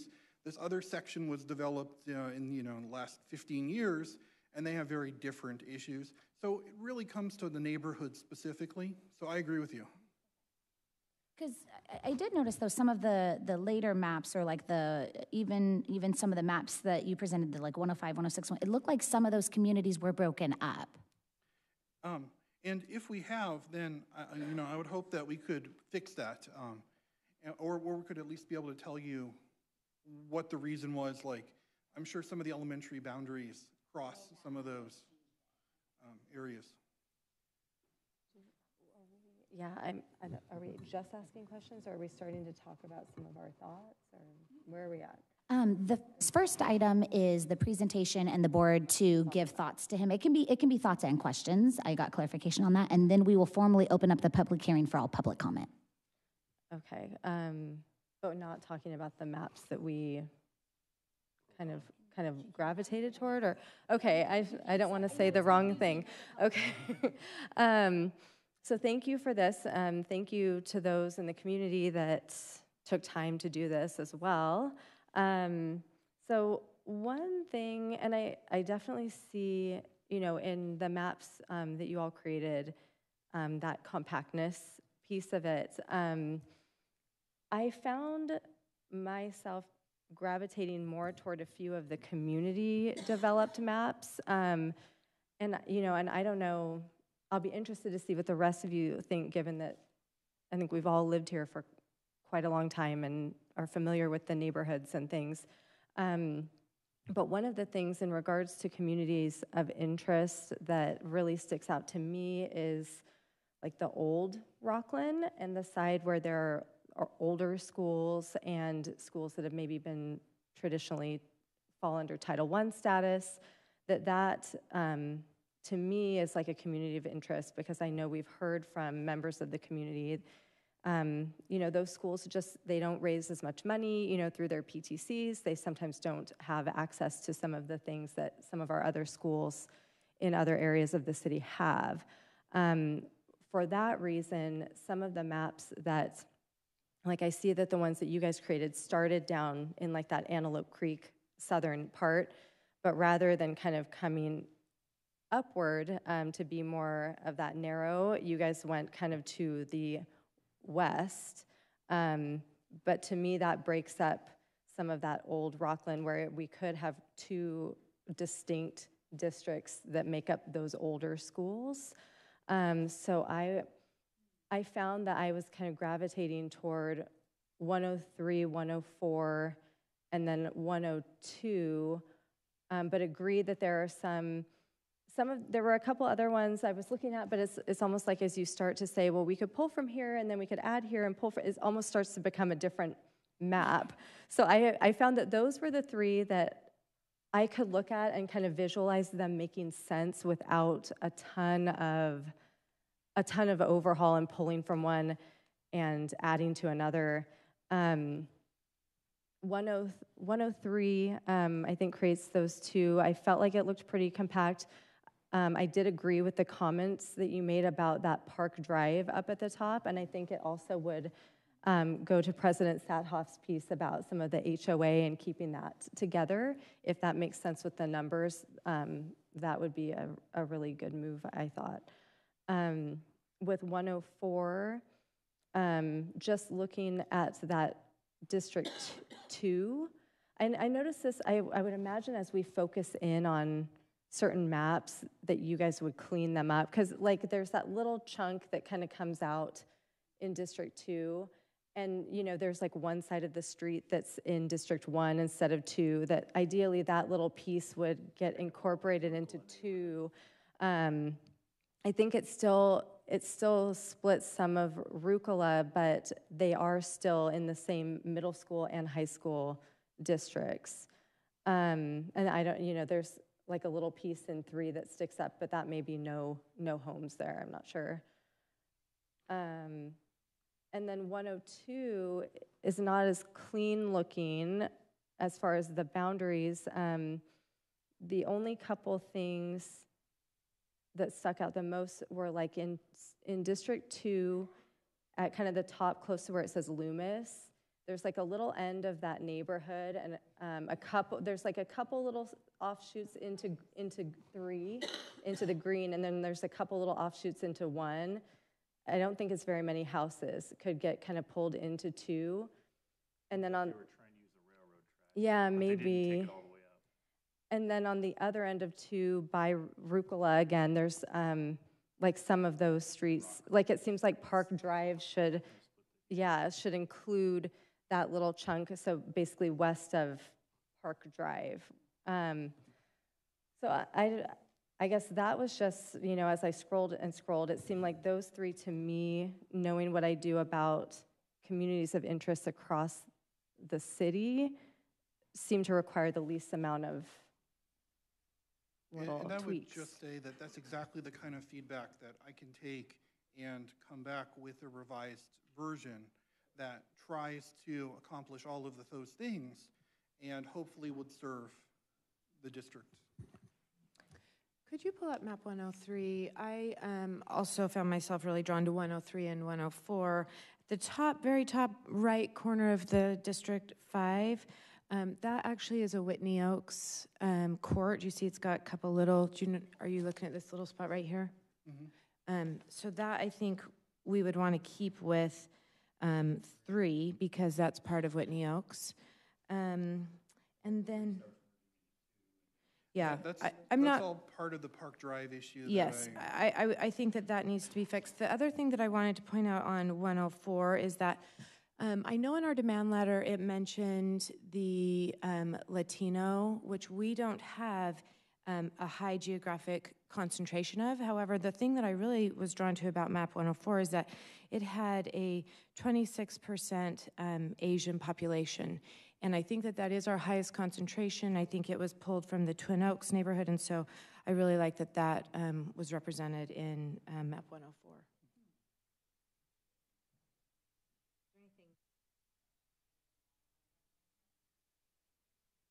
Um, I would like to better understand the into why that little, you know, area is pulled out. I don't know if there was a high population specific to that, or if you know why that little area, My- the. Mhm. My suspicion is that it is to do with population. Yeah. But one of the things we could try to do, if you like 104, is, is there a way of doing that? A lot of the Mm-hmm. community maps have very low deviations. Mhm. And we have some room there. Um, So that, that area that is pulled out um, is still part of Cressley Springs, but it is a different builder. Um, So I'm, I'm not a 10 about pulling that out. I was just curious, you know, if that changed our numbers on population percentage or population numbers. Um, But other than that, that met, um, you know, a lot of the communities of interest. Um, I felt like HOAs were uh, taken into account, neighborhoods um, to make sense. I think I was going to add up the number of years the five of us have lived in Rocklin. It would be it would be a lot. So that's a, a good thing, you know. Yeah. I think I you know, just one of the things that's in one of the layers. It would be, uh, and again, it, and I tried to do it where you put the elementary school boundary layers, and then you have the maps. What happens if the colors start merging, and it gets really confusing. But I would like to, there's some, I think the elementary school boundaries do a good job of kind of using natural divisions, other than Parker Whitney and the railroad track, but I mean, you're, you're talking so small, but if we could keep to using the elementary school boundaries where possible, because there's natural divisions with the elementary schools. I, I get Whitney and Rocklin and Granite Oaks and Springview, you've only got those two school, or the, the two schools in each grade level, so it's not, you're never gonna be perfect there, but from a high-level standpoint, you could theoretically have two elementary schools in every, two plus in everyone's area, and again, if, if it works, but it, those, those were nice, those were nice cut-ups when you start overlaying them. They, make some natural boundaries in places around roads and things, so. And I do think 10 103 seemed to, none of them perfectly follow, but that one did um, seem, and actually 104 was, was kind of similar too. Um, Yeah, but the 10, um, yeah. It, does. uh, like, I, I would, I would like go, like toggle back and forth, kind of quickly, and it would help, help me to understand it better, like on, off, on, off, okay. But I thought 103 and 104, they, there was some, um, yeah, whoop, whoop, yes. One other thing about 103, on um, trustee area one, why is this additional little pink jagged edge? Yeah, the little Yeah, squares that- That's for out there. population. Population, So if you okay. just go across on the railroad track, you are, you need, you don't have You enough have to people have a one. few more. So you Yeah, you cross can't. somewhere. Okay, um, and I don't, I, are any of you familiar with that neighborhood or can picture? You know, is that gonna feel strange for, for that, for them or for that neighborhood? Pacific and Sunset, that's heading up the hill. I know, it does. Yeah. I don't Okay. think it, But they're Tri-City. It's, Um, it, lot it of- is, it- it's it is- Bolt, it's Bolton, it's that, right across from the baseball diamonds. I actually don't think it's a bad cut. I don't, Sorry. No, I don't think it's a bad cut. I don't think it's a bad That's cut, where because Tri-City is, and they're right. So It's it- a it very is- it is distinct apartments. neighborhood. It is, it Yes, is it high-density is. apartments. Um, But, um, and so I think the option is that little cut, or as we see in 104 in many of the other maps, or 104 actually goes south. Yeah, goes south toward Antelope Creek. Um, Some of the other maps go into the gridded streets um, that are kind of um, still there, on the other side of the train tracks. So those are the options. It has to cross somewhere just to get under that 10%. And that's really the question of where. yeah, I, 104 looks good too. I don't, Mhm. and then it keeps more of And the I- grid all on the District 5 side. Yeah, Mm-hmm. and I, I would say from a, like 104, if you look at Area 4, there's a Valley View, if you look at the Valley View cut on the north side of where 4 is, as opposed to running, I mean, I, I don't know if there's probably nothing there, but if you just kept it in line with where Valley View, the, the district, the s- elementary school boundary is, it makes an even cut. It probably doesn't affect any people, but it would just be a nice. Yeah, nice. because there's that ridge there, because then right next to that is, is all the older, like Parker Whitney boundary. Mhm. I'm guessing though that was probably a population decision though, because look, if you cut that out, you're gonna have high population here and low Cut population what there. out? Yeah. Uh,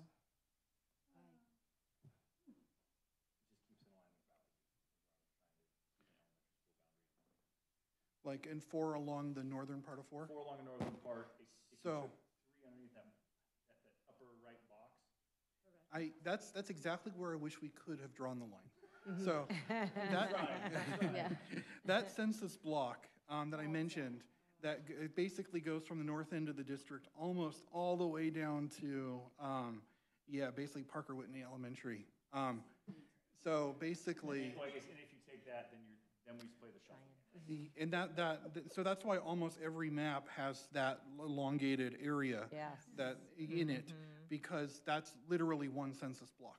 Um, but I understand, there's no people in it.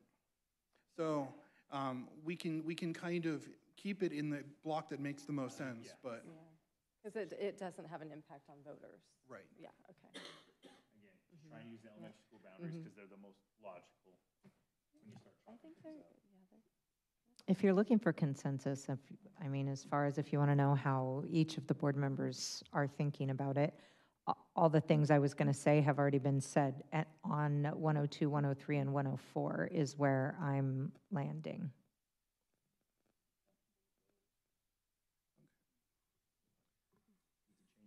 Yeah, right, it's not set, we're not voting on it, right? Yeah. But it would be nice to see those with kind of some of the refinements that, yeah. So if I, if I could suggest then, could we do the public hearing? Mm-hmm. And then we can come back and, and maybe, yeah. Yeah.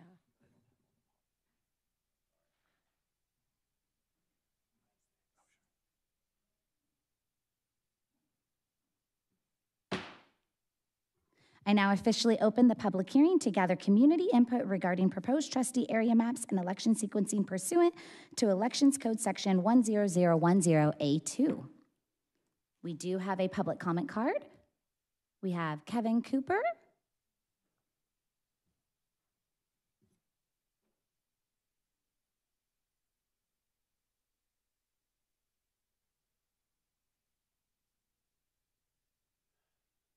Good evening, trustees. Can you guys hear me okay? Um, So I have a lot of concerns about this process. I do project management for a living, PMBOK certifications, graduate degrees. And the communication plan from this process is way too fast. It doesn't have nearly as many people in the community showing up at these meetings. I popped on there and took a look through the notes, and I'm sorry, guys, whatever collected those notes to post them, they were intelligible.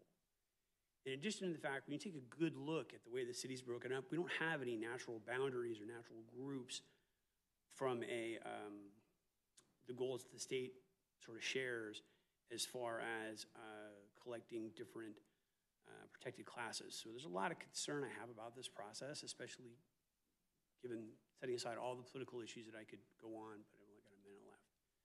So um, I'm watching it. I'm going to dive into it. Stat- statistics and forecasting is what I did for a big part of my career, and so I'm concerned. Set that aside.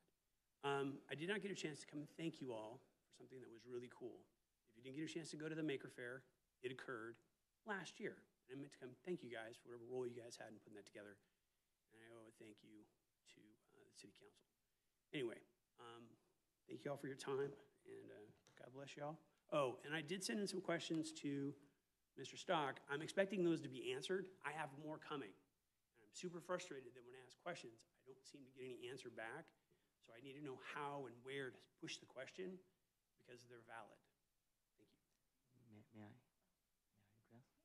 Uh, Mr. Cooper, I, I received an email and I responded, and, and I'm. Oh.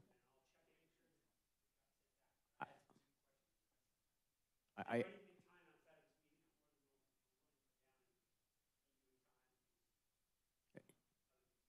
Right, no, no, I I appreciate that and, and want to just make sure you're getting answers, not that you necessarily will agree with the answers, but you're getting an answer to the questions. Perfect. Thank you, sir.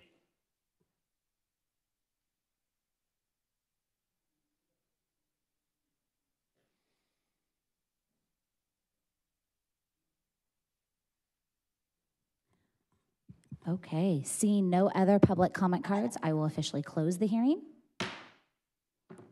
Trustees, we're able to continue uh, conversation and give possible direction to our demographer this evening. I'll jump in. I was hearing some consensus on a few maps. Um, I, I will say, I don't know that I am quite at the point to say that elementary school boundaries are the are the highest priority for me. If I'm just being honest, um, uh, I think the the number of uh, families that that serves and represents is not a large portion of the entire district size. So I get a little nervous about that. Um, but I do think it's something important to look at. Um, I, I do still see. I want to dive into these maps of interest a little bit further to really look close at the neighborhoods. Um, I, I do think neighborhoods staying together is really important. Um, and uh, I think in many ways that will be our elementary school attendance boundaries, but I think that it actually conflicts in a few spots in the city. So those are just some of my own personal comments as you're redrawing or relooking at the maps. Um, maybe there's a way that you take options into consideration for both of those or separate maps for each of those requests. Would you say, though, that he already, did that you already did in MAP 106? That was your attendance area focus? Um, so certainly that was the map where we, I really tried to focus in Okay. on that. Okay. Um, and again, like, you know, I would say it's very common that it's not one of the consultant maps. Yeah. You know, I have no attachment to which map gets uh, Oh, good. selected. We don't either. Um, Okay, In perfect. fact, I, I kind of heard that 102, 103, and 104 Mm-hmm. are kind of the three focus maps at this point. Um, and, but, the- but with modifications Mm-hmm. to them.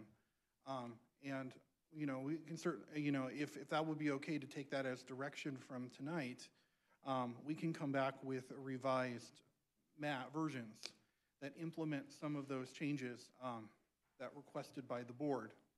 Um, Now, particularly for 103 and 104, I think I have a very good idea of what the board is asking for in terms of modifications. Um, And I know I mentioned a couple of issues with 102, particularly with Area 4 or 5. Are there other changes to map 102 that you would like me to look into?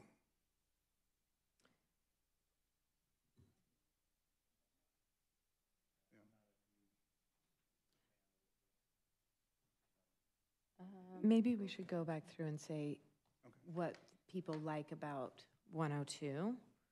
Um, what are the things that, you know, we would want to have modified? I'm, I'm not a big fan of this. In fact, when you said top three, I was thinking, oh, I really have two favorites, um, two that I prefer. And and if that's the case, and 102 was just mentioned once, but we don't want to include it, then we can go with 103 and 104 as the focus maps. Yeah, that's, I mean, that's fine. I, d- there are things I like about 102, but it is a little, I think would require a little bit more adjusting than, say, the other two do.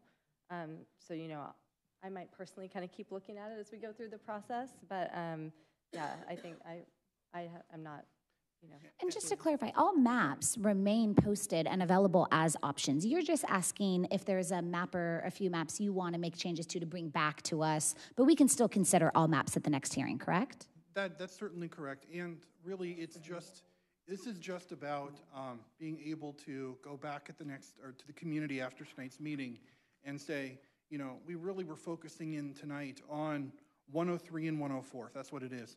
We're going to make some modifications to these maps, but like, this is where we're leaning tonight. Nothing goes away, nothing's eliminated, all the maps remain posted. And maybe somebody who did one of the other maps hears what the board's feedback and wants to revise their own map to make it better. And that becomes the map that we look at as the focus map next time.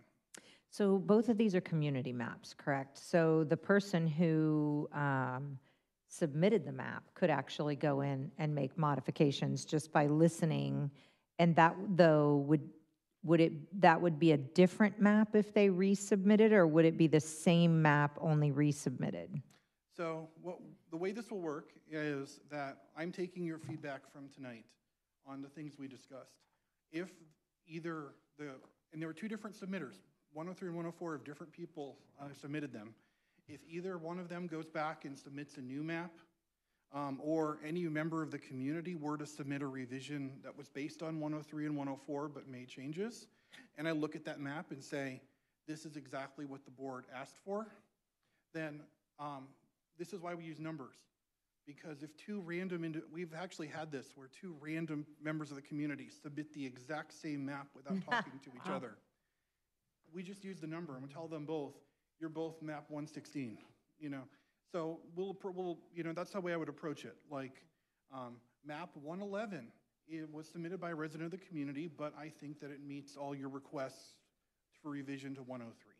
But what I was really wondering about is if you, for example, took map 104 and you made revisions and the submitter made revisions, would it come back, both of your submissions come back as 104?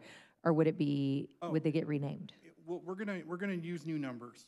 Okay. That's to prevent any confusion. So, um, in the presentation, it'll say map 111, and then next to it, it'll say, you know, board revisions to 103. Okay. So So we'll make it clear, those two maps or, you know, maybe three maps that are responsive. Okay.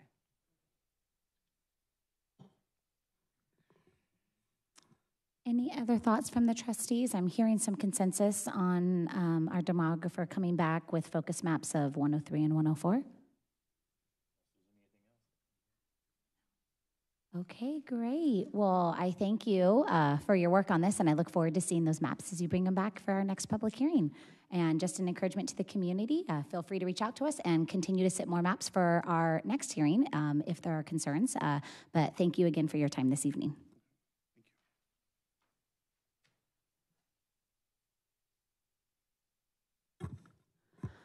Okay, we will now move forward with our agenda to the consent calendar.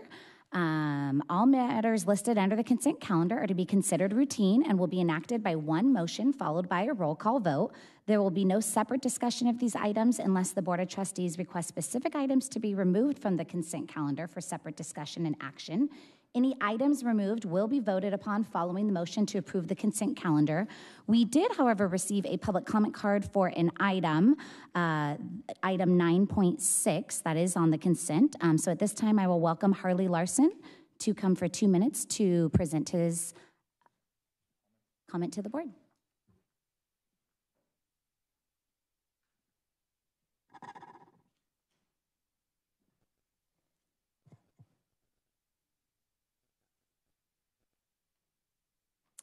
Uh, hello, Board. Harley Larson, Reen Brocklin. At the March 20th meeting, there was some additional information provided on the legal services budget, including a graph of the actual amounts spent. One thing that jumped out at me on this graph was that it started in the 2019-2020 school year with $850,000 spent on legal services. I was curious, so I took a look at 2017 and 2018, and both years were budgeted under $200,000. The district clarified budgeted amounts are almost always over the actual spent, so back then, we were spending less than $200,000 a year on legal services. Since then, and the election of our current board majority, we've averaged over $820,000 in legal services each year. Since just last month, the projected budget has jumped another $65,000. Superintendent Stock, at that March 20th meeting, you said one of the results of having better collaborative experiences is that we don't incur the legal fees Related to negotiations with our labor partners, I would remind you, the board, and the community that the district has been in unnecessary labor negotiations for almost a year due to the board majority's gender notification policy. A labor complaint the teachers literally begged to drop at the February 7th meeting if only you would rescind your illegal, unnecessary, and unpopular policy. And what was your response? President Sadoff, you verbally accosted our RTPA rep, maybe the biggest labor partner the district has, if anyone missed it, you can watch it on YouTube.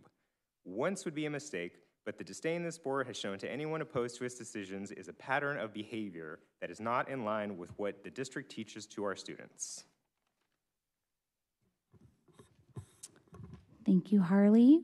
We will now move on with the consent calendar. Does any trustee wish to remove an item from the consent calendar for separate discussion and action? I'd like to remove 9.9 for separate discussion and action.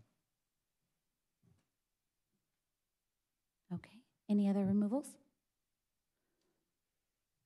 Okay. Is there a motion to approve the consent agenda item minus item 9.9? So moved. Second. First by trustee Price, second by trustee Hupp. Georgia, will you please call the roll? Julie Hupp, Yes. Rochelle Price. Yes. Derek Counter. Yes. Michelle Sutherland. Yes. Tiffany Sadoff. Yes. Thank you. Motion passes. Trustee Counter, you requested to remove consent item 9.9 for separate discussion and action. Can you please share with the board? Yeah. So um, 9.9 is the comprehensive school safety plans. They're done every year. And I would say, again, love them. For, for those of you that don't know in the audience and those of you listening at home, um, this is a great committee that's put together. The team is usually three to 10 people, depending on the school site. That's principal, um, admin, teachers, parents. There's a, you know, it be a, an employee, could be a, a student. And these are a great opportunity for you in the community and in your relative school district, especially at the elementary level, because we have so many of them. But it's also for middle school and high school to get involved, to help out, to develop, to modify, to promote, to improve, to foster, to strengthen, all these things. This is your opportunity in the community to be involved. Um, and have, you know, have your say and have your, have be part of the conversation from a priority standpoint and strategic um, decision. So there's three main sections. Each one of these things, and I apologize, I'm explaining. So each one of these things is about 100 pages. The first one to 20 is really the, I guess, the meat of it. Everything from about 20 on, and I'm plus or minus a few pages, so I will apologize, um, is all reference stuff. So if you're really into that, you can you know print them off and review. But there's three main sections of the comprehensive safety plan. The first one is the initial assessment, and that really provides, um, I guess, reference data on suspension, expulsions, uh, disciplinary data, attendance, um, gets into the California Healthy Kids Survey, which is really from fifth and sixth grade. Um, and then it, it talks more about just kind of some historical metrics. Again, from a continuous improvement standpoint, I think there's an opportunity to consolidate that, put it in more of a grid format. There's formats, but hey, every, everyone has a little bit different way of presenting it. So that. Um, section two is the first action plan, it's people and programs, and that's really about the culture of the school. Um, it goes away from everything about, it's very site specific. It talks about being connected, having positive social interactions, caring, um, excelling in academics, behavioral, emotional, emotional safety, all those things. So from a parental standpoint, if you're in, if, if you if you want to have a part in your community and have a part in your school, those are opportunities where you can jump in, help out, and, and those are amazing. Some of the things, and I, I will apologize because I don't have all the uh, acronyms, so, but in that first section, you got PBIS, SWIS, SS, SST, and UDL data. They're very site specific. There's some that talk about IB and big little buddies and events equity training, yard duties, clubs, crossing guards, intramurals, restorative practices, um, individualized learning, SEL traits, student leadership, touch of leadership, award tickets, equity cohort, equity and inclusion committee, stop, walk, and talk, team building, student peacekeepers, parent volunteers, et cetera, et cetera. These are all the great things that are happening at the school. And if you if you're into that stuff, you want to be a part of it, this is a great thing. If there's something that you don't understand, be a part of it. If there's something that, hey, this doesn't make sense, Again, reach in, be a part of it. These are great things. At the high school and middle school, that section's more probably curriculum development, talks about vape and Narcan some other things that are out there, more mature students, but the elementary schools and things, I think it would be nice to see, again, continuous improvement. If we're gonna focus on some things, there's probably some metrics we can tie to, to we're gonna make decisions and actions. Hopefully they tie towards making something better or improving or maintaining a metric. But again, a lot of metrics in there, a lot of things. The the other section, this is the last part, it's the action plan. So this is your traditional safety plans, folks. So this is site-specific, state-mandated, the number of fire drills, the lockdown drills, the run, hide, and fight, the off-campus evacuations, on-campus evacuations, duck and cover, et cetera, et cetera. There's some other things that get included, campus visits, walkie-talkies, drop-off, pickup, et cetera, et cetera, that are out there on that other section, and I'm sure there's some editing that can move around, so it makes it. But I think this is a great opportunity again. Um, these things set expectation for staff, students, and family. These are opportunities for parents to be engaged, uh, fostering that culture. You know, pros and cons. And then each school, there's a little bit of a varying opportunity to be involved. So if you want to, if this is something you're into, reach out to your site, school site council, reach out to the principals, um, get involved. This is one of those great things. They happen every year. You're setting the strategy for your school. So if you want to do that, I think this is just a great opportunity. I know I'm probably selling it too much, but I just wanted to call it out. This is a lot of work that gets put together, and I think it's an opportunity. I hear from people like, how do I get involved? This is a great example to get involved. So, did I catch everything? Absolutely. so with that, I, I, I just want to say thank you to that. I, I will approve or I will vote to move it forward. I just wanted to call those out because it's a lot of work and it's just an opportunity for hmm. people to be involved. Yeah, thank you for sharing and explaining. Uh, definitely important work being done. So I appreciate you highlighting all the incredible work. Um, and then also, um, I think back in the day we called that a Cliff Note summary. So I appreciate that for all the parents listening, right? So great job. Yeah, we got some people clapping on that summary. So thank you uh, for that. Um, so I'm hearing a motion to approve 9.9 So by moved. Trustee Counter. Is there a second? Second. By Trustee Price. Georgia, will you please call the roll? Julie Hupp, Yes. Rochelle Price, Yes. Derek Counter, Yes. Michelle Sutherland, Yes. Tiffany Sadoff. Yes, motion passes. Thank you. Okay, we will now move on to item 10.1. I now welcome Mr. Craig Rouse, our Senior Director of Facilities, Maintenance, and Operations, to assist us with a public hearing regarding school facilities impact fees. Good evening, Board President Sadoff, Board of Trustees, Superintendent Stock. Just a little bit earlier, you guys approved um, on the consent agenda the 2024 Development Impact Fee Nexus Study. And now staff would like to um, recommend holding a public hearing with regard to the proposed increase in school development impact fees from $4.79 to $5.17 per square foot. That's for residential construction, and then from 78 cents to 84 cents a square foot for commercial construction. And this would take place effective June 16, 2024. Thank you. I will now open the hearing officially. I open public hearing to increase school facilities impact fees on residential and commercial development effective June 16, 2024. See no public comment. I will now close the hearing. Mr. Rouse, will you please continue on with item 10.2, the resolution for number 232434, authorizing the increase in school facilities impact fees on residential commercial development effective June 16, 2024? Thank you. Um, So we're, we're bringing forward a recommendation tonight to approve resolution number 2324-34. And this is authorizing the increase in school facility impact fees on residential and commercial development. And that the effective date for this increase shall be on June 16th, 2024. And this is 60 days from its adoption if we approve it tonight.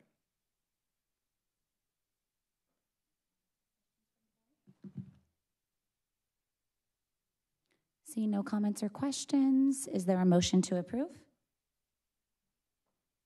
So moved. Is there a second? Second. First by trustee Counter, second by trustee Hupp. Georgia, will you please call the roll? Julie Hupp, Yes. Rochelle Price, Yes. Derek Counter, Yes. Michelle Sutherland, Yes. Tiffany Sadoff. Yes, motion passes. Thank you. Item 10.3, we now ask Jennifer Stollerberg, our Deputy Superintendent of Business and Operations, to join Mr. Rouse to present the portable building replacement project delivery.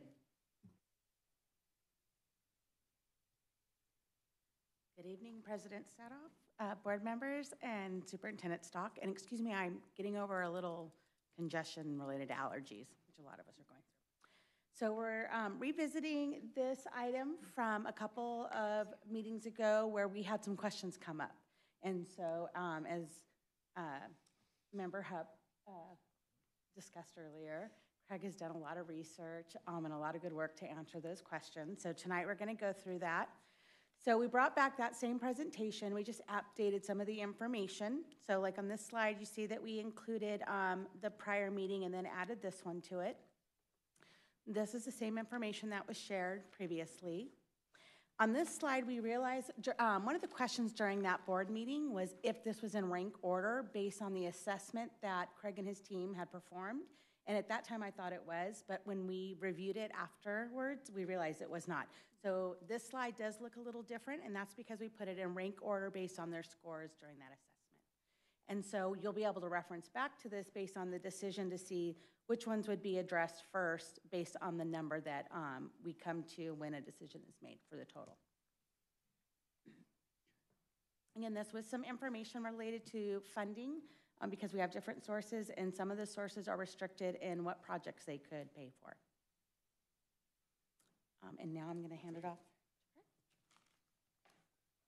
Okay, so I'll pick it up from here. So um, we're gonna, just going to go over um, what we did last time, and it's talking about the portable classroom buildings, modular classroom building, permanent built classrooms, and then cost comparison and next steps. But as we talk about the portable classroom building, we're going to uh, talk, also review some additional enhance, enhancement options that have been uh, asked for us to do a little research on.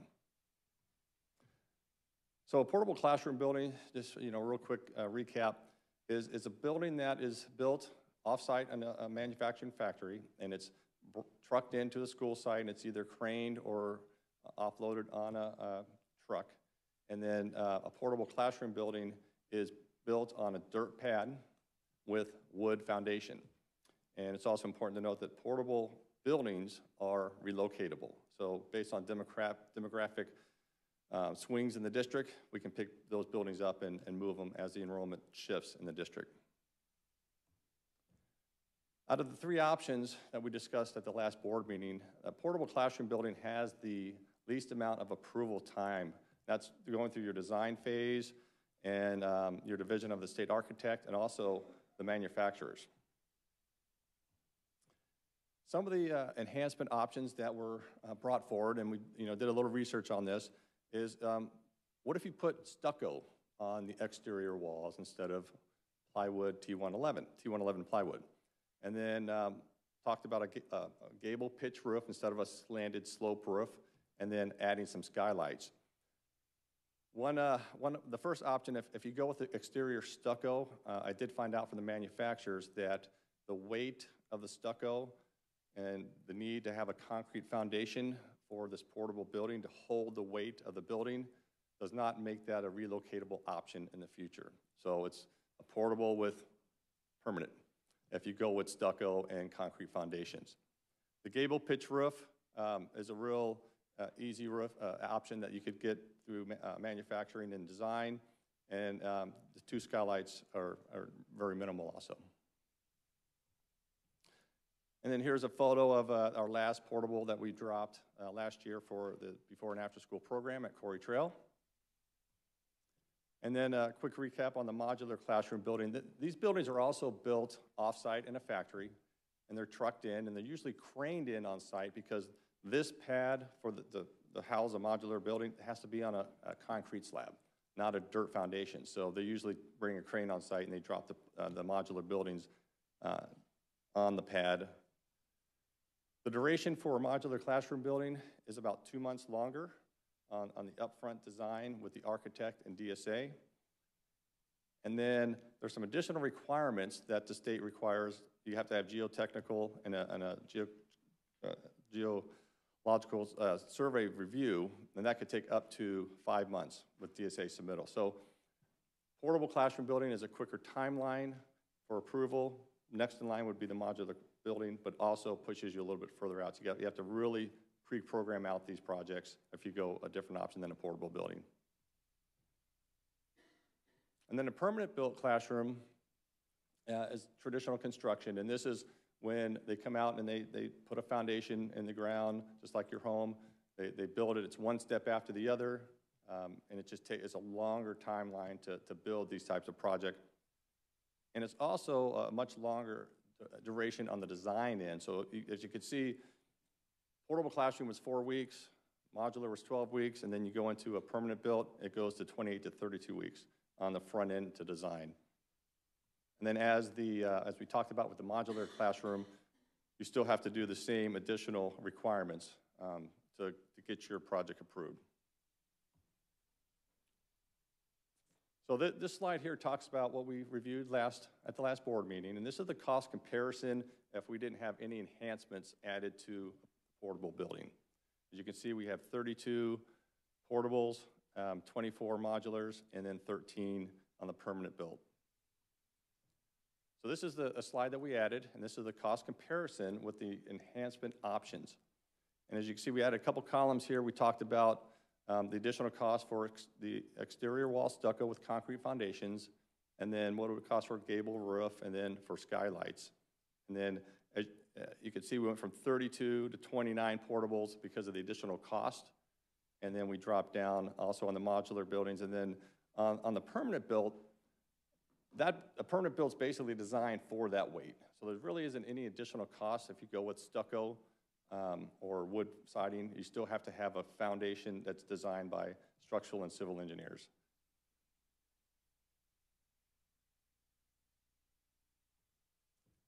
Our next steps. Yes? Just curious, historically, I know with the, with the stucco and the foundation, you, they become unmovable, they become somewhat permanent.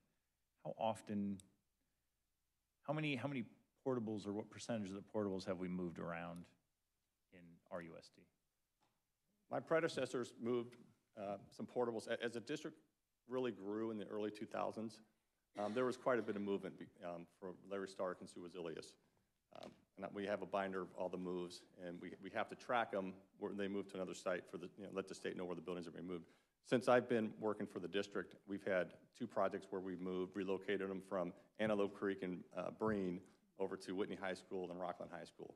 So since I've been here, I've had two projects. We've moved five portables in total. So Craig, I- you didn't mention the hardy board as far as the siding. You mentioned the stucco and the T111, but it's the hardy board at Quarry Trails, correct? And wasn't that what we were going to use going forward?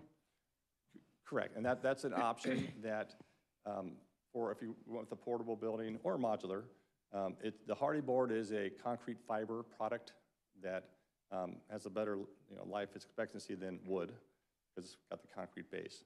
And that's what we, we've designed for the five portables that we're putting in now at Quarry Trail, and then the before and after school program portable that we put in last year. And would that be what we would go with moving forward? It's an option, yes, We wouldn't go back to the T111? that would be the recommendation. What's the cost difference between that and stucco? Between the hardy Hardy board, board. very minimal. Talking with the manufacturers. It's uh, as if- much as stucco, or it's close? It's, to it's, it's, it's comparable to a T111 Okay. siding. So. They're uh, just switching out the T111 for Hardy Backer. Yes. And, and talking with the manufacturers, they, they said it's, it's minimal cost. It wouldn't even impact the overall cost of the building. It's one or the other, yeah, preference. And then, and then, and they're moving towards just installing those now for longevity. Okay, and then what I really want to, um, I don't know, push back a little bit on is the dirt foundation with the, or the dirt um, ground with the wood foundations.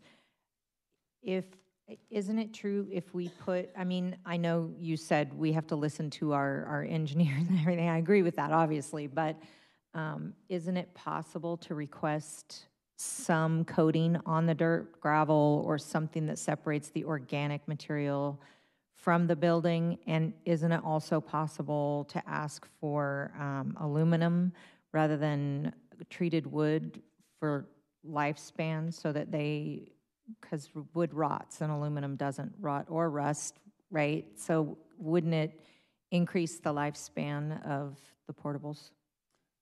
So let me just kind of walk through the process. Um, These, these buildings are, are pre-approved buildings through the state. That's, uh, if you go with a portable building, and that's how come we can get a quicker timeline. What that means is that portable, portable manufacturer has to work with the state to meet the, the state guidelines on how to build this, this type of building. And we, when we decide to go with a project and say, hey, we want to, like at Quarry Trail, first step is to hire the architect. We hire the architect and say, this is what we're looking for, and this is the type of building we're looking for. They go to their structural engineers and civil engineers, and they come up with the- the set of plans along with the portable manufacturer's approved set of plans. They have to put their site plans together and submit them together to the state so we can get approval um, for the project. In that process, whatever they come back with from the licensed engineers, uh, and same with the architects, we have to follow those, those guidelines, if that makes sense. So the, the only part that, of the building that's sitting on the dirt is the wood foundations. There's an 18-inch clearance.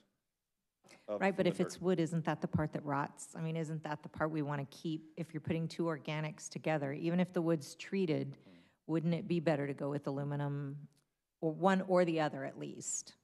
Uh, It, it's, so- it's something that is, is, that comes from the structural engineer. You, can't you request it, though? Can't you give direction for that? I cannot, because the licensed engineer, we have to follow whatever their requirements come back to the district, and, and, and not to the district, but through the state. So as an owner's rep for the district, I can't tell an architect how to design and get these areas approved. For the liability of the district, we have to follow those guidelines from the architect and the engineers and from the DSA-approved plans. It's, it's my job to make sure that the, the projects are built to those specs and requirements from the state. And that's why we hire an inspector of record that works for the state, hi- hired through the district. He also makes sure that, that, you know, when the project is built, that every detail on those plans is followed along with the specifications um, are, are met throughout the duration of the project. So that would mean it's not being done anywhere. Uh, Not that I'm aware, not that I'm aware. Um, As long as I've been doing this, I- we've, I've always followed the approved plans, um, and we just, we, we build to what they tell us to build. Not the other way around. They don't build to what we tell them to build. It, uh, it, it doesn't, work. it just doesn't work. And I- and I go back to the liability. If, if I deviated one portion of the approved plans, I exposed the district to some liability concerns because we, we built it not per the approved state of plans. And then we have a- uh, the inspector of record, he wouldn't let us build it like that. So what, he, he also has to report to the state, and we have this, the state representative for our area, who he works for, comes out and they approve our projects, and they make sure that it's being built to the requirements of DSA. So there, there's a couple layers of approval process. So if I, if I may, just to uh, try to uh, assi- assist is, um, I, I ab- I, trust- trustee I I absolutely hear your interest of saying, well, is the person writing the check, we, we'd like to be able to request certain things be considered by the architects, by the engineers, as they develop their recommendations. And I, and I appreciate you saying, I understand we need to follow you know, because they're the certified professionals that we have to follow, but it doesn't prohibit us from making a request that they see if they can include that in the, their work and design, and, and, and so that we're making known as the, the purchasers what we'd like. Um, But, you know, and asking them to consider that as they do that work. However, knowing that if they come back and say, for these reasons it can't, that, that we understand that because they're clearly not going to put their stamp or certification on a plan that is not, because they don't want the liability professionally, we don't want it. But I, so I also hear, what I hear your request is to make known what we would like, eh, but understanding that, you know, we'll, we'll, look at what they, is in their professional capacity, recommend versus we just kind of get whatever they give us. Does that seem to be the Yes, thank you. I would like to make that request, that we at least look into and request one or the other, if not both, as far as organic to organic. If we can have one of those traded out for non-organic, that, w- I would like to make that request. And, and and Roger, appreciate that, because this, this, this is part of the programming portion of the project. So when we come in and we, we have a project that is is now developed and moving forward, this is, this is the type of building we're looking for. This is what we want on the building. Do, do we want a pitch roof? Do we want skylights? Do we want stucco? Then we could ask that, that question. I apologize for not getting to that point, so I appreciate the, the help on that. But, but yeah, and then what'll happen is that they'll come back and say, well, you know, because of this, this, and this, we can't do that. This is what we have to put in there. Okay. And follow these guidelines. Or I- maybe they'll say yes. Can I just, I would like to add some thoughts. I, personally, I, my hope, I know that we have a timeline for trying to get started on some of these things. I know we've talked about a lot of options. I would hope that maybe we could, you know, it sounds like we're not maybe going to be able to have an answer tonight, but I, I, I think we have to really know that this is something that needs, I think we have a responsibility to make a decision here. My opinion on the options, I get concerned with the amount of cost for these buildings and the amount of need, and that we want them to last as long as they possibly can. I worry about making modifications outside of the way that the builder, you know, recommends. So the weight of the stucco that is heavier, that concerns me because will that come with unforeseen issues down the road? Um, skylights, that also concerns me, just with ideas of as they get older in age, will they leak? Will there be issues? I think our other classrooms don't tend to have those. I would say that's a risk that I would not want to take. The pitched roof, I'm, I mean, that, that probably looks nice. Like I'm, that seems like to me the, the least, you know, like something that might be a good addition to our campuses. But even though we don't move many portables, that is one of the benefits of doing portables and to remove that and add cost and add weight where it isn't intended to be. I have concerns on that. Um, you know, also thinking about just that these portables are going to a variety of sites and they do last for many years. Being able to move them, knowing that we're reaching build out, our school populations may change. We may need those buildings somewhere else in 20 years. Like, we don't know. So, I think it would be good to leave the option open to use the newer, more aesthetically pleasing hardy board that we've seen at Quarry Trail, um, and maybe talk about the pitched roof. I don't, you didn't add a, a picture on, that. That would be where, where I'm at with these kind of aesthetic pieces and just my concern on our timeline. I agree. I think we're going to be ready to. I mean, we've appreciate the time you guys have taken on this. Um, I, I did want to speak to because I went with Greg to Antelope and we looked at the portables there. Um, the skylights actually made a huge different difference for a minimal cost. Um, I'll let you, you know, you can speak to what their representative said about how long they're lasting. They haven't had any problems. I know that we did talk to him about that. Um, I like the idea of the gable um, pitched roof to match. Um, I, I, I, one of my cons to how the portables look is if they've really stuck out as sore thumbs on campuses, right? So if that makes um, a difference, that's a minimal cost. I'm I'm concerned also with the hundred thousand on every portable. Um, are there some portables? I, I just don't understand why it would have to be on all of them. Could you? Could um, you assess? This is definitely, you know, some one of the schools. If you go back a slide, had 13 portables on its campus. Uh, maybe keep going back, sorry. When you had them prioritized by campus? It's probably like the second slide in. Yeah. So Antelope Creek, for example, that has 13 portables. Uh, you know, are 10 of those for sure going to be permanent and maybe we have those be stucco? I'm not sure, but I trust that you'll make the best decision. I just don't know if it needs to be on, um, if the stucco needs to be on all of them. I do understand that it really, really helps them last longer, but then, as you're saying, we lose some of the advantage of them being able to be movable. Um, and then, did did you? Can you talk a little bit about the um, the maintenance? Is there any maintenance with stucco? Yes. Okay, what is And that? you- With, with stucco, you know, just like everything else, as it settles, it starts to crack. True. As the buildings settle. Mhm. And over time, you, you have to get on a maintenance plan to paint Right. these buildings. And we, we- you know, as I I repainted some of the buildings at Whitney High School, the front of those, you know, the three front buildings, we use an elastomeric paint. Mhm. And that helps take care of those, uh, seal the cracks Yeah. and give it a longer longevity. So it has, just has to get on a maintenance plan. Okay. Um, Every, every, you know, five to eight years, you're painting buildings. Um, Budget, if your budget allows you to do that. Yeah. Do you feel like it would be not pleasing if, you know, out of 13, some were stucco and some were hardy board? Do you think that that would not look good? I'll, I'll, I want your honest opinion. I see your smile. I, I can say that the products that are coming out now with the hardy plank look more like, the, they, don't look like the, the old T111 siding. Okay. It looks more of a, of a lighter pattern Mhm. and more towards, not a stucco pattern, but not the T111. do you, what do you think the difference is in longevity? Between. Hardy well, board. Hardy board has the same type of concrete fiber. Stucco is concrete with the mix. And the difference between the T11 and the hardy board? I'm sorry? The, the difference between the T11 and the hardy board in One's a longevity? wood- One's a wood product and one is the concrete fiber.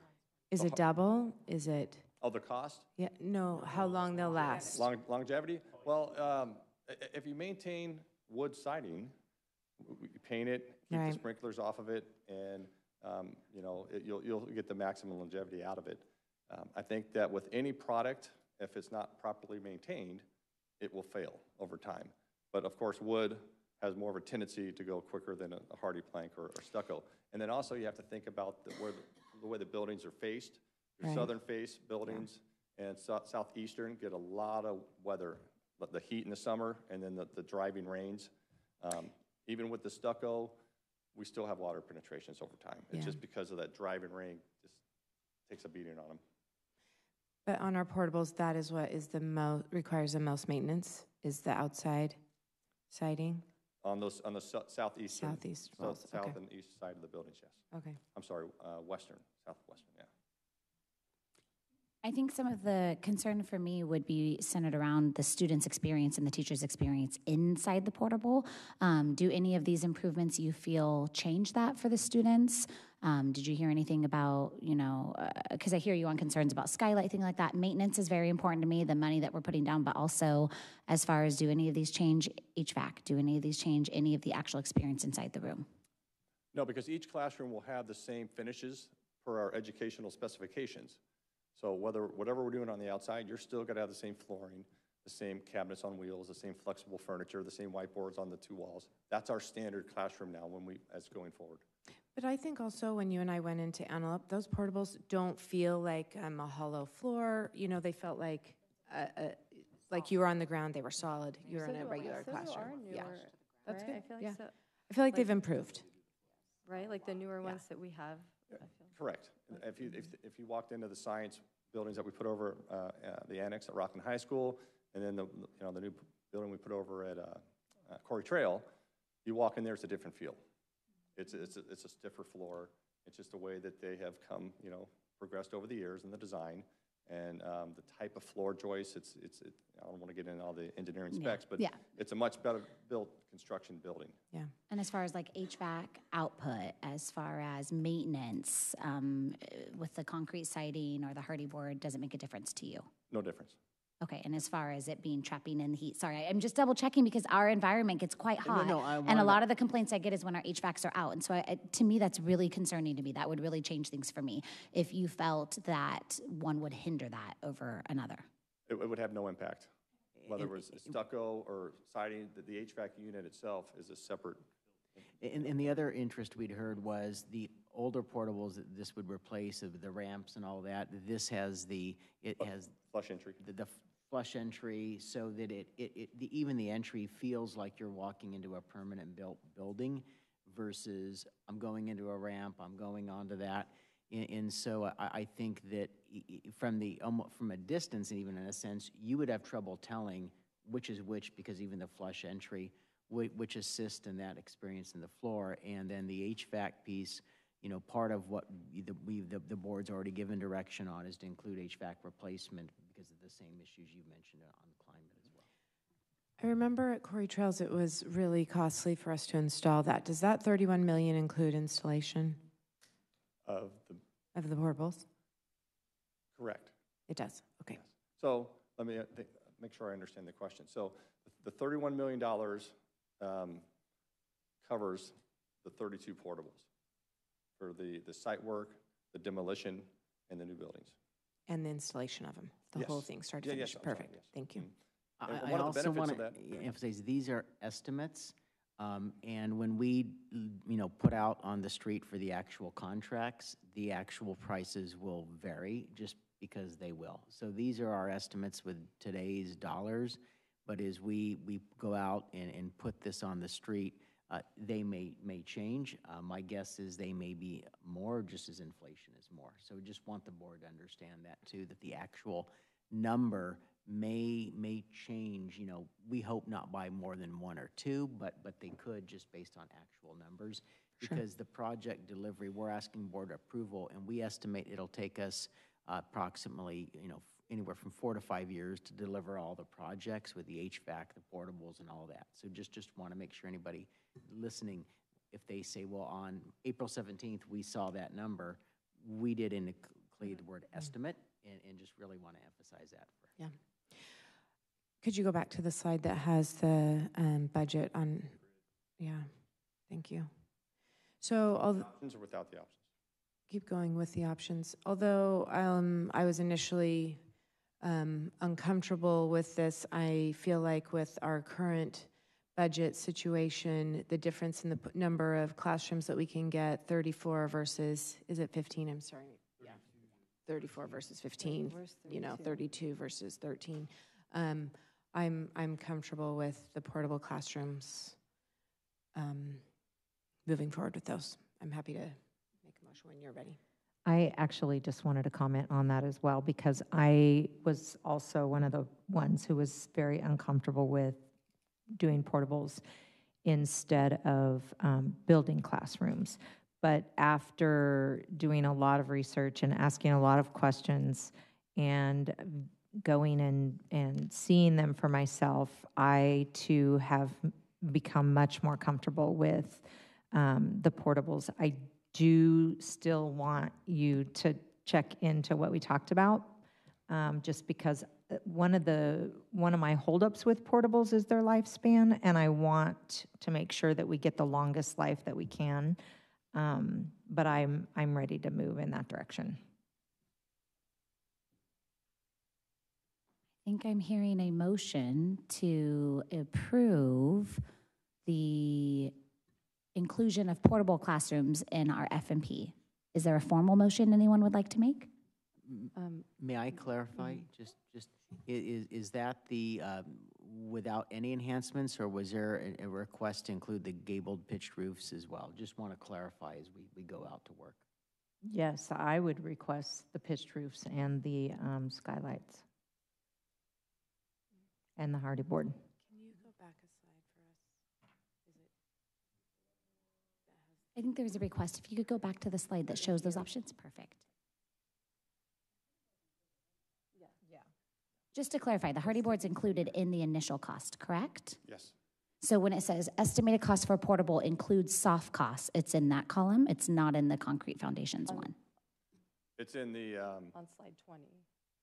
No, on slide 19. so if you look at the estimated cost for portable, uh, eight, eight hundred and eighty-seven thousand, that includes the Hardie plank, the Hardie board siding.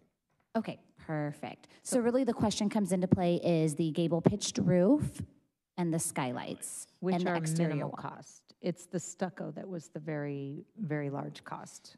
But Yeah, the, I- the gable agree. pitch and this, and the skylights are very minimal. Okay, I just, yeah, wanted to clarify in the motion, so we, we got it.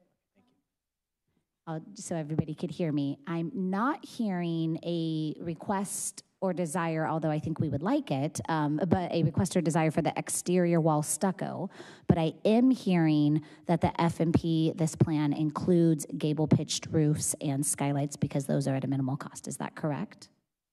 Yes. Okay. Um, so to clarify the motion, um, actually, I'll have the individual that made the motion. If you could clarify that motion.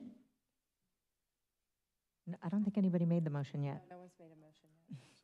I'll I will motion that we add these to um, the FMP, including the gable pitch roofs and the skylights. Second. to the portable classroom option. Yes. Excellent. Okay, hearing a first and a second. First by trustee Hupp, second by trustee Price. Georgia, will you please call the roll? Julie Hupp, Yes. Rochelle Price, Yes. Jarrett Counter, Yes. Michelle Sutherland, Yes. Tiffany Sadoff. Yes, motion passes. Thank you. Thank you both for your presentation this evening. Yes, thank you very much for all of your work.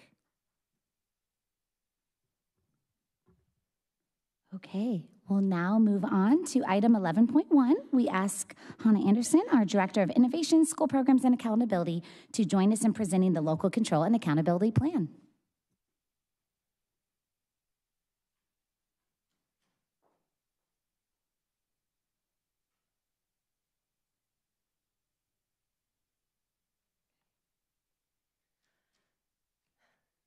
Good evening, President Sadoff, trustees, and Superintendent Stock in a minute. I'm here tonight to share about uh, our, an update on our local control and accountability plan and the planning process for the um, 24 through 27 school year, three-year plan.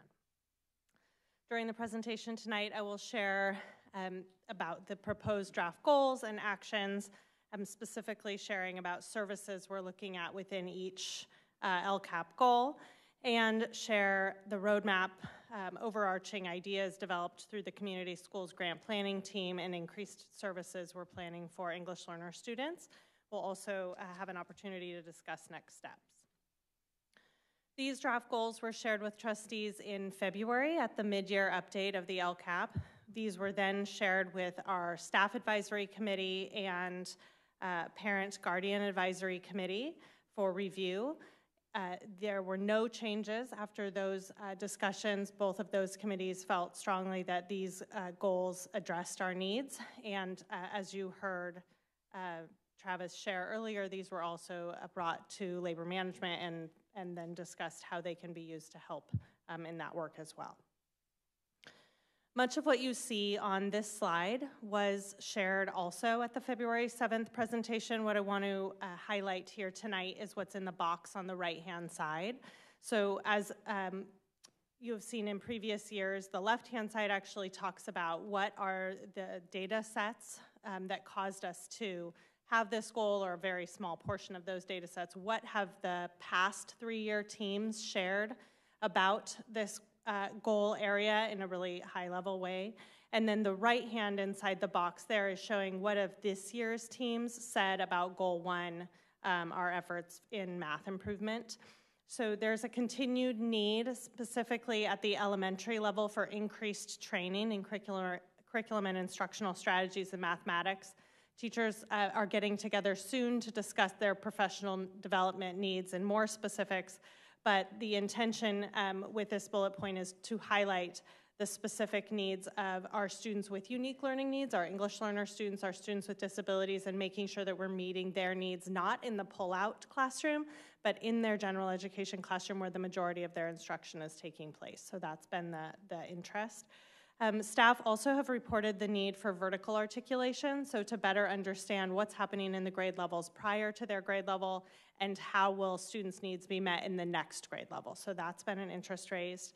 There have also been um, both parents and staff, um, the continued need to close gaps early for students, so really investing in that early intervention. We know specifically related to math achievement that if we are waiting until high school to try to close gaps, it's phenomenally difficult um, to close gaps as well as ensure that students are passing courses and meeting A through G requirements to have all of their options open for them if that's the path they choose. Um, our secondary staff and parents also report the need to continue those everyday math courses. So that for students that need uh, that doubled time in mathematics, that option is available to them. And then we'll be gathering more um, information on these services that are related to the action items when we take um, all of this information to our advisory committees next week. So they meet for the fourth time next week for two hours all of the services that have uh, been in Goal 1 will sustain in Goal 1, or we're looking at them sustaining in Goal 1 next year. So a couple of highlights are their ongoing work um, that's taking place K-12 in terms of intervention and those um, ninth grade class size reduction, everyday math sections will sustain um, our program specialists. Uh, I'll talk in a minute about targeted tutoring and, and how we have some um, attempts to make change there. We also have ongoing work related to our data analysis and helping ensure that um, teachers have training in our analytics tool and also what is that, how can they use that to drive instruction in their classroom and best support students' needs? And then shared about the professional development a minute ago. These expanded services, oh, absolutely. Sorry, a quick question. Um, I know that everyday math, we did that wrong. Do that both, we did it at both high schools? Yes, both high schools have six additional sections offered through one-time funding um, to uh, ensure that they can each offer a whole teacher's worth of everyday math classes. When does that one-time funding expire? I mean, what does it go till? When that one-time funding um, in the one-time spending plan, which also includes all of these expanded services on this slide, the one-time funding goes through the 24-25 school year. So Okay. these services will be in place next year. And then there are some um, additional funds that are set aside either through supplemental funding ongoing or general fund ongoing that we'll need to discuss in next year's process. And I think the intent of including them in the LCAP is that we found them to be successful, and so we want them to be able to be continued if possible. And so by including them in the LCAP, it allows us to utilize dollars to keep them in existence, correct? That is a one of the pieces that we have tried to do in Rocklin that is um, not not just unique to Rocklin, but not all districts in the state of California do this. But we are trying to and have tried to align the one-time dollars we received from the state to be in alignment through, for, COVID relief, to be in alignment to our LCAP, to really invest in if we believe these are three goals that are going to increase and improve services for students here in Rocklin, how can we utilize these one-time dollars to um, enhance the services and deepen the services that we're offering within our goal areas. Uh, The, the only thing I was going to add was the everyday math, uh, there's six additional uh, uh, sections. That's not all the everyday math offered. That's additional because our, our high schools had invested in that and we're offering everyday math even before COVID, even before this. So it's, so it's, in, it's even more. So, so if it, all the money were to go away, um, there would still be everyday math. It just wouldn't be to the degree that this extra provides. We also have um, uh, historically offered some of everyday math sections, or at least for the last five years, we've been able to offer everyday math sections through our supplemental funding as well. So that that is um, also uh, what you'll see here actually in the May presentation, we'll share the expenditures, and then more specifically at the public hearing in June, where you'll have an opportunity to see these are the federal funds that are going to support this, these are the supplemental funds, and here are the general funds that are supporting this action. These ongoing services um, are also continuing to be expanded. Here's another um, space. You can see the last bullet point is for expanded summer school. Um, that is actually through our expanded learning opportunities program funding we received from the state of California that we had the opportunity to expand summer school. Whereas before that funding came in, we had that service at the elementary level for our um, students at our Title I schools. This program actually was a, a, reduction at one point due to budget cuts, and then because of this specialized funding source, we now are able to expand this service and ensure that um, students at any of our elementary schools who have an um, identified need, um, the basically the, the neediest 250 students um, gain first access to this expanded program during the summer. We're looking, we'll be looking at a couple of service augmentations, a couple of new um, or revised actions that the committees will look at next week um, and give their input on. One of them is that, um, and I think uh, President Sadoff, um, you shared this at the February 7th board meeting that the targeted tutoring, we haven't had as much success with our targeted tutoring programs. We've tried many different options uh, over the last number of years of how we might offer this through virtual options, our own staff, partnering with agencies, using peer tutors. And different years we've had different levels of success with, um, with our tutoring programs, where what we have not explored to a great extent is partnering with third-party local agencies to help us in offering tutoring. And so that is one of our coordinators of expanded learning is actually looking into this currently is how can we partner with community-based organizations and then lean into um, our students potentially and other, um, and other uh, local colleges to help us in our tutoring efforts. So I hope to be able to bring back more information on our progress in this area at the May presentation, but that's um, that action item.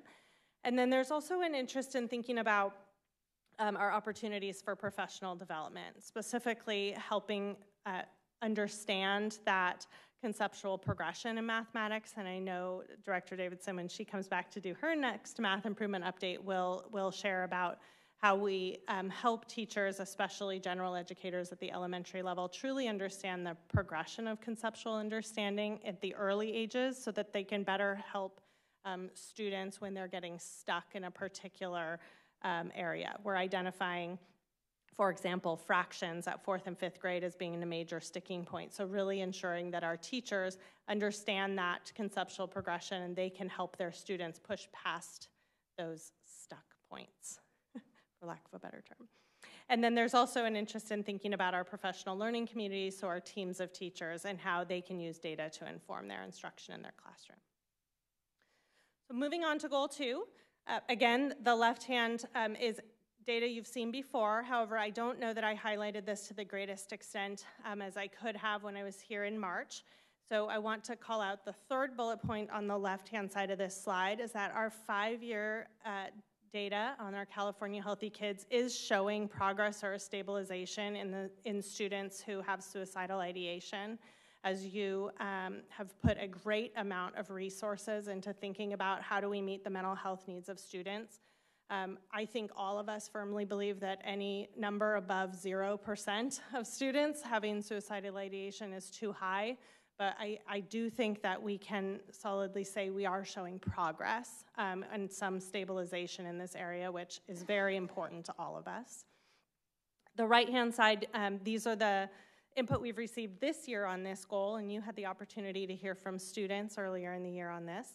But staff do report the need to sustain the social, emotional, mental health, and behavioral personnel and resources. Our parents and staff continue to report the need for clear communication regarding access and referral processes for services. You'll see that in the next coming slides. Our staff also report the need for ongoing training, especially to support students who have those highest behavioral needs and the highest um, social emotional needs. And lastly, uh, this has come out of the staff committee, but they're, um, they're reporting the need to have consistency in PBIS systems across the district. We have many schools that um, are highly effective in their PBIS practices, and many that have had a lot of sto- stops and starts um, with their implementation. Maybe it's because they've had turnover on their PBIS teams in terms of who's their, who are their leaders. Maybe they've had leadership turnover at their school. So we're working to identify which of our sites could benefit from a little extra support in this area and maybe um, thinking about getting them a, a more in-depth training sequence again. So more to be um, identified in this area, but there is, an, there is an interest to make sure that all staff and students have access to a consistently implemented PBIS system at the elementary level.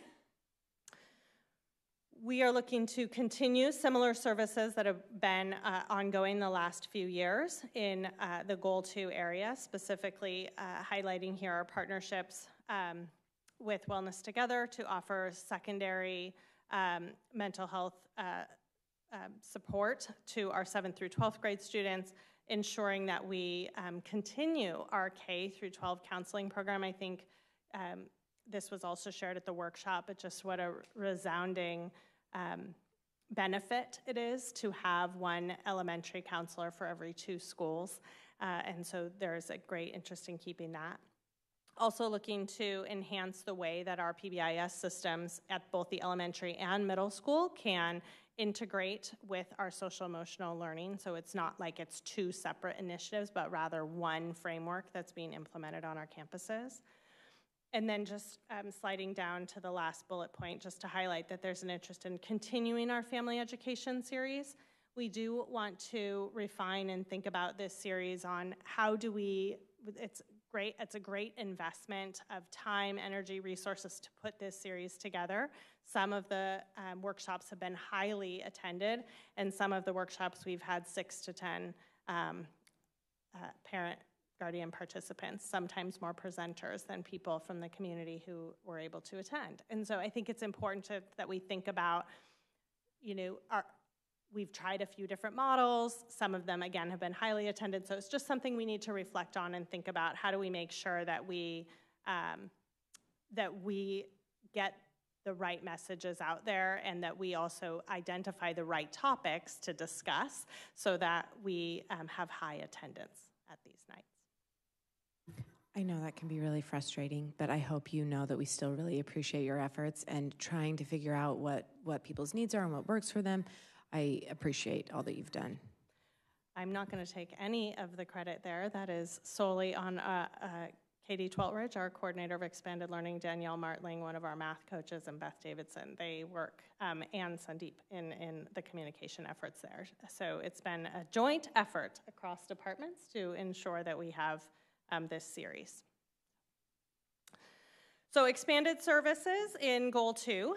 Uh, we are looking to um, continue and enhance in a couple of areas for expanded um, services for social, emotional, behavioral, um, and mental health supports. We want to sustain our increased behavior analyst staffing. We now have three behavior analyst positions, so we'll sustain that third position to support students with highest needs behaviors um, and ensure each campus um, uh, Leslie Holmes and Beth Davidson been working on um, training two schools in a pilot behavior response team. This is something we actually started pre-COVID, but with the addition of a third behavior analyst and some of our behavior support assistants, as well as counselors and psychologists at our staffs, we can train up a behavior response team that um, can be available when students are in crisis and when teachers need support.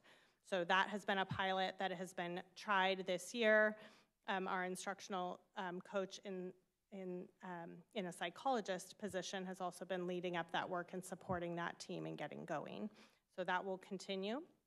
We also have um, a sustained, um, we will sustain our mental health specialist, which PCOE provides to us. We used to um, participate in a partial of that grant funding, but now they have a grant that they've passed through to us to ensure that we still have access um, to our most vulnerable students at Victory High School to ensure that their mental health needs are being met. And then we also have, um, we will maintain increased staffing one section per high school um, to support ensuring that our social emotional learning at the high school level is a contextual fit for each school. So I think we heard the first year when we just used this set curriculum that that wasn't exactly what students needed. And so now each school has one teacher who's dedicating one section to uh, think about what is the best way to integrate social emotional learning on our campuses that meets our campus culture. They train the rest of their staff to um, implement these lessons in, on the campus. That model was used this year, and it's been much better than what we've seen um, in previous years.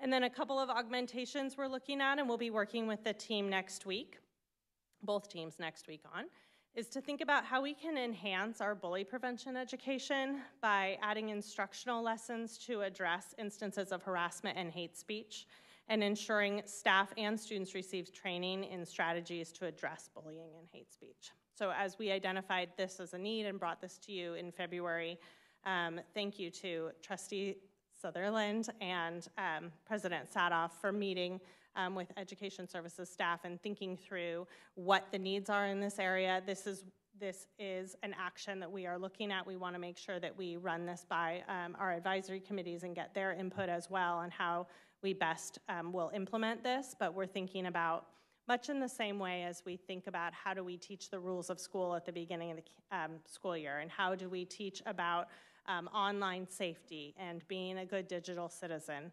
Um, we have bully prevention lessons at some grade levels, not all grade levels, so really wanting to make sure that we have a consistent approach to um, bully prevention education that also um, very specifically addresses harassment and hate speech at an age appropriate, in an age appropriate way. Um, um, that ensures that all students are free from harassment and hate speech on our campuses. We also are exploring a consistent referral process for students to access behavioral and mental health interventions and supports. So you've seen for a few uh, years now that there is a need to communicate better about the services that we have in this area. And even through increased communication efforts, that need continues to arise. And so, this is our way of altering that to say if we have more consistency in the way that students are referred to interventions, then we can even be helpful at a district level of communicating what we have because it's not different across all of our schools. So if we can develop a consistent uh, referral process and we can advertise to staff and families how they can access the services on our campus. This third bullet point is to um, look at our, our greatest, um, one of our greatest needs uh, in terms of our suspension rate is related to substance use and abuse. And so we'll be increasing, uh, looking to increase the number of substance use prevention and abuse resources and interventions on our secondary campuses to ensure that students, um, when a consequence is necessary, students have a consequence, but we also want to make sure that we're supporting them and educating them um, and providing um, or partnering um, for treatment when necessary. The last here is looking at our sustained investment in Care Solace. We, um, we appreciate this resource and we want to hear from our committees how it is working. Um, we've had a mixed result and heard from some of our families recently that um, they're not having as fast of access to services as we originally thought. Much of that that, that our families would receive. Much of that is because services in all areas, um, but definitely here in Placer County are overextended and there just aren't as many services to come by. And so the original promise of will help families get uh, uh, with a provider within two weeks, that's not coming to fruition because that's not a possibility in our area. And so we want to think about is this still a, an investment that we want to make or are there other ways um, of doing this. So that's something we're going to be working with our committees on. We also have, um, uh, through the work of Julie Kessler, who's here uh, this evening, our program specialist of community schools and integrated supports, she has led uh, a team of 36 team members, including two trustees. They have met over 16 hours between September to uh, February um, it, this was a representation of all of our secondary schools to think about what you are hearing about in Goal 2. So really this team took a deep dive into We have many social, emotional, mental health, and behavioral needs at our secondary schools, and those needs seem to be increasing. And we keep adding services, but we're not yet meeting that target of addressing all of the needs. And so we wanted to pull together a representative team. And through that community schools planning grant, we were able to pull together the 36 uh, members representing all schools. We had parents on this committee, amazing students on this committee that were um, vocal and, and helpful with how we can do differently on our campuses to try to address this need.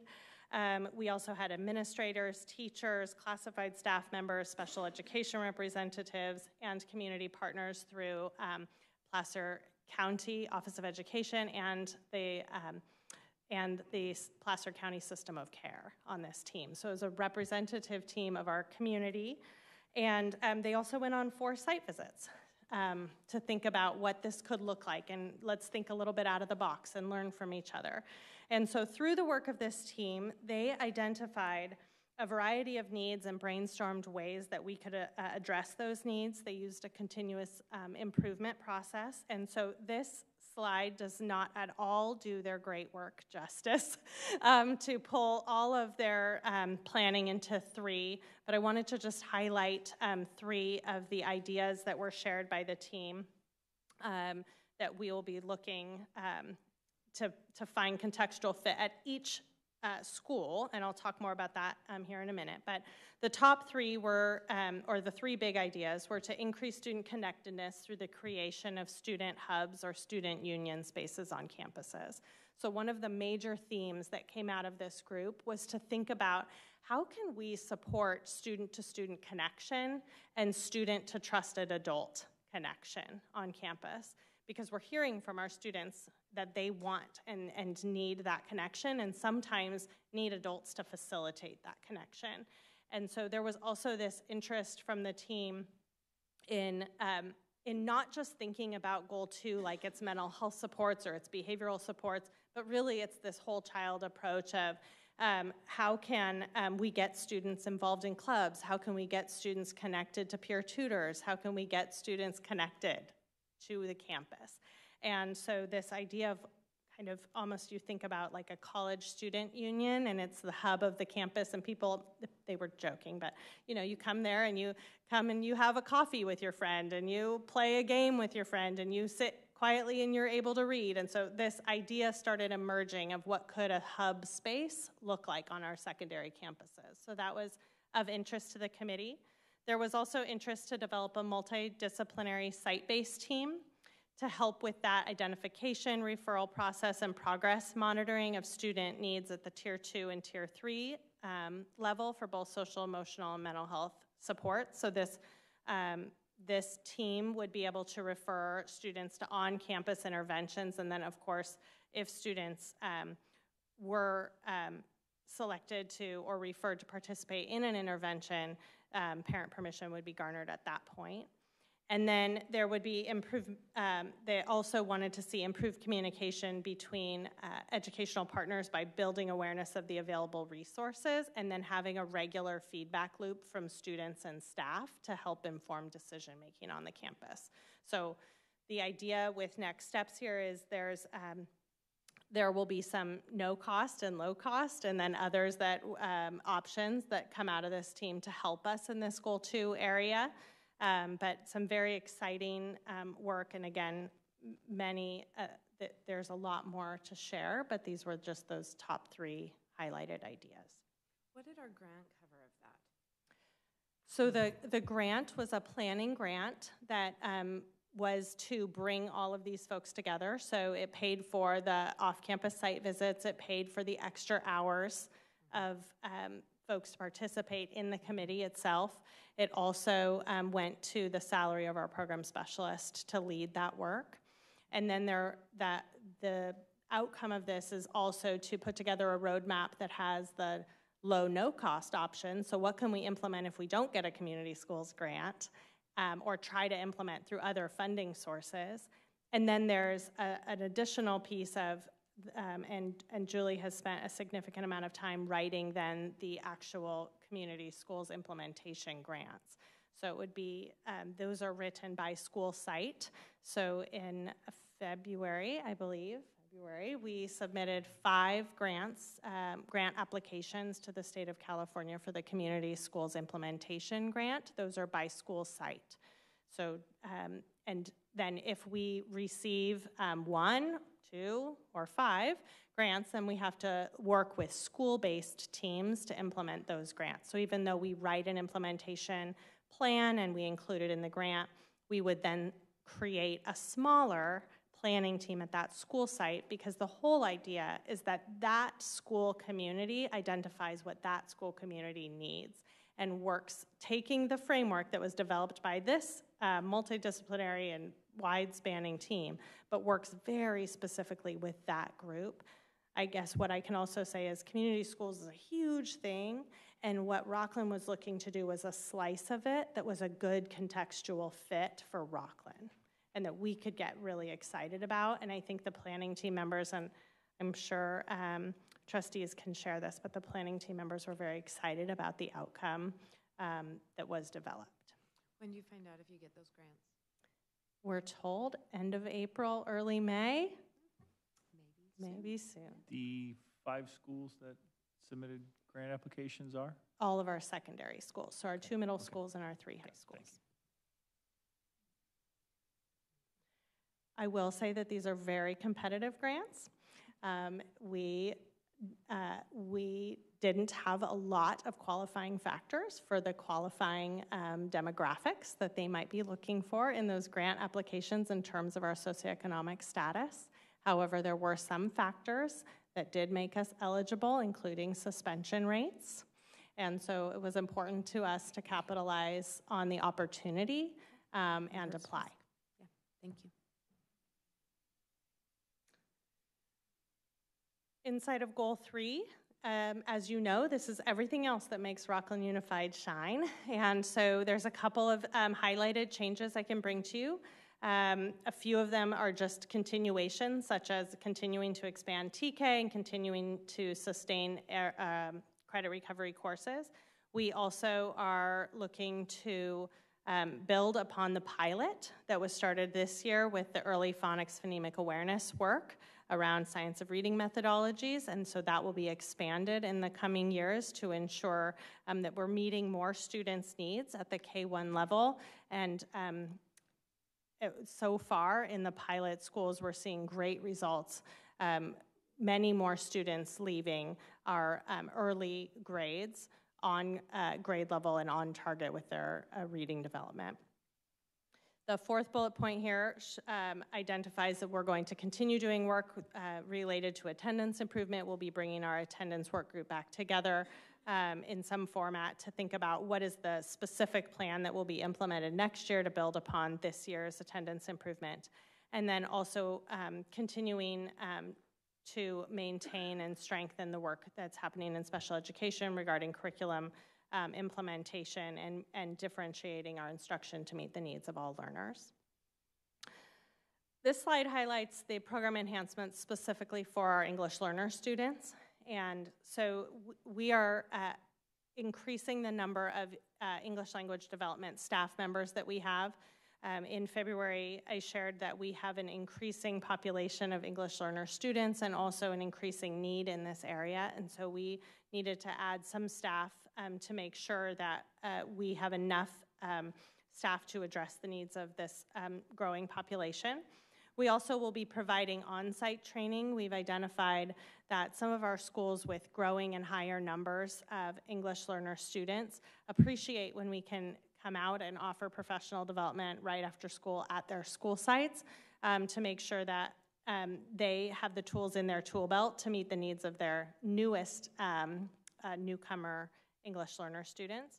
We also um, are building into our English language development staff teachers that can come out and support um, and walk alongside classroom teachers who have brand new English learner students in their classroom, and those students need additional support right in that moment. So just trying to think differently about how do we support our general educators in meeting the needs of this unique um, population of students.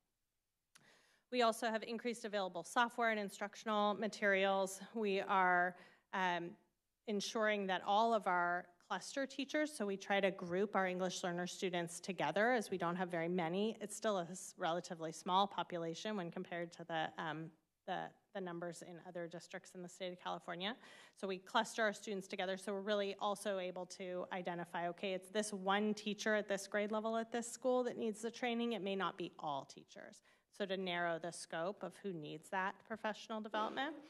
We also will continue our family liaison um, work, meeting with our families new to our district and helping them navigate not just in-district programs, but also community-based programs and sports in the community. And it's ju- those have been great uh, meetup sessions.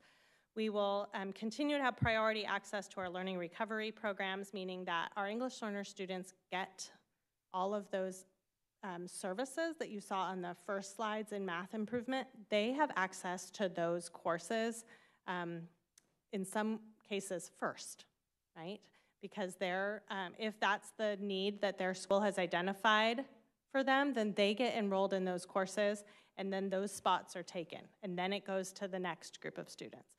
So really wanting to make sure they have access to these classes and that they're not just provided access, but scheduled into these classes as appropriate.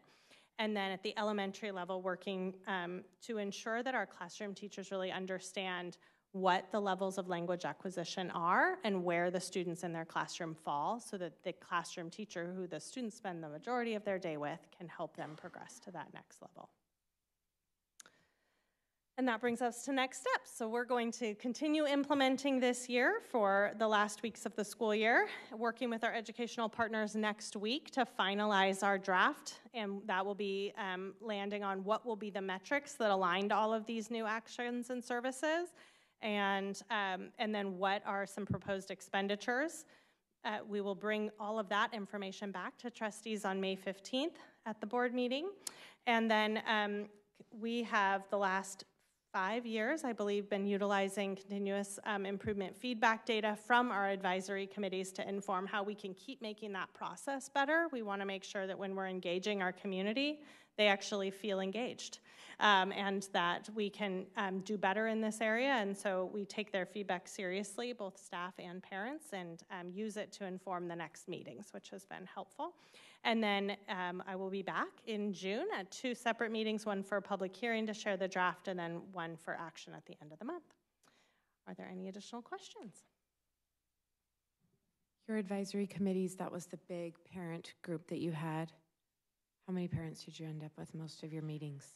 So uh, there were 80 families or and parents that were selected to be part of the committee, and unfortunately, this year we weren't able to take everyone who wanted to be on the committee. The last few years we've been able to, and so I agree. Uh, and so um, we've had anywhere between uh, 45 to 55, 60 parents come. This happens each year where you start out with a larger group and then, you know, throughout the year, there's sporting events, there's other things happening, so we definitely understand, but it's a solid group of people and um, their input has been very valuable. Thank you. Are there other committees that are also meeting as well that are advising the LCAP? Yes. So we also have our District English Learner Advisory Committee. That will be meeting at the beginning of May. We recently held our um, Homeless and Foster Youth Advisory Committee. I think I, that's maybe one I messaged about. um, that that committee thinks about how do we increase and improve services specific to um, that population. And um, we will also have our staff professional development uh, um, advisory committee. That's also meeting here um, in a few weeks, and their um, input also influences the LCAP because they're thinking about, okay, with all of these goals and actions, what training will staff need next year and over the course of the next three years to implement this plan um, and make these actions come to life? The, uh, the- the credit recovery classes, are those set up for all students or a specific subset of students?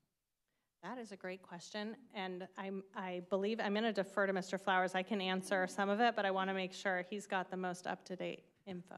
Yes, all students, what we found uh, with those three classes is if it's taught by a uh, credentialed teacher that understands, you know, if you need science recovery, a science teacher is assigned to that. Language arts, you know, math is special. We also have it for social studies. But both schools is doing that, and they do their best to have, you know, that single subject teacher in there because they're able to teach all those subjects, and they've found that to be uh, much more productive. And we have roughly three classes at each school, so. Correct. A total of six. Correct. And are they using the Edgenuity software uh, to facilitate Correct. They are that? using that as credit recovery. But with our grading system, they can, they can um, specialize it to meet the kids. Uh, They're not necessarily having to retake the entire class if they pass a certain percentage of it, correct? You can assign in that um, software program just those sections. Just want to say thank you. This is just such high quality work and so much effort and time and expertise has gone into this. Um, I was taking notes of all my favorite parts, but I won't go through all that. But it's just, it's so great to see, you know, being that I've come to LCAP meetings for several years now, but looking at this kind of developed plan and seeing specific things that we hear parents and students talk about and here they are in a cohesive plan with you know strategies um, you know that hopefully even even if you know we don't get all the funding that we want we still have some ways that we can utilize um, what we've already put into place over the last couple of years and um, excited about the tutoring and looking for um, options on that I do think, you know, having counselors that are spend more time on each school site and they get to know the campus, get to know the students. You know, same with having the teachers, specific teachers that work on that social emotional piece. I think our students know when it's contrived and it's not authentic and they don't buy in. So, so that's just really excellent to see. Um, and you know, the student union spaces, like we heard that from multiple students that we just don't have anywhere that we feel like we can go sit at lunch and, and be social. And so um, that um, professional development for the early phonics, I mean, the early reading's so important, and I just, you know, investing in our teachers is so valuable. So um, I appreciated that as well. Just overall, thank you so much. This looks great. You know, echoing some thanks, um, uh, pulling together, uh, not only first identifying uh, critical needs, but then pulling together ideas from throughout the entire district from so many different stakeholders. That's not an easy task. So um, I appreciate your work on that. I know we had the ability, Trustee Sutherland and myself, to really sit down um, and talk about some things um, that we saw from our California dashboard and some of our other uh, data collecting sites, such as the surveys um, that we were hoping would be included, and you, you, included every single one of them. So I want to take a second and say thank you to that.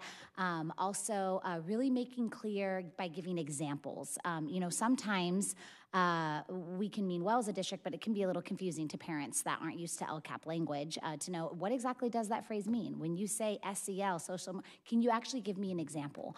Um, and I think that helps uh, to be able to talk together um, and understand exactly um, what resources we are having available and what things we aren't having on our campus that we might be thinking are happening on our campuses. Um, I, I, do want to thank you specifically for calling out um, the English learner, learner um, supports. Um, you know, we've seen that population group grow, and so I um, we also saw some concerns on our dashboard with that. So I thank you for saying, hey, we really need to, to look at that and highlight that, and, and the tutoring services as well, finding what will work uh, to get the students to access them and actually utilize those services. Um, I, I, will say, um, uh, I was just wondering a little more information. Um, student hubs and student unions. I'm intrigued by that. Um, what does that actually look like on a campus? I know there was two other trustees that sat on that community meeting or that advisory committee. I wasn't on that specific committee.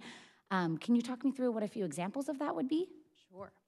So one this um, this idea was really brought back through one of the site visits because the the need had been identified in the committee of opportunities for student connection, um, creating spaces on campus where a variety of needs could be met, um, and then also creating um, those opportunities for student to student and student to staff connection. And so Um, one of the visits uh, was of a school in the Bay Area, um, and the staff had actually identified, the counseling staff at that school had identified that there was interest in kind of rethinking the way that they offered services to students um, and not making it all based out of the office. So not to say this is what we would do here, because again, we would need to identify what does that look like in Rocklin.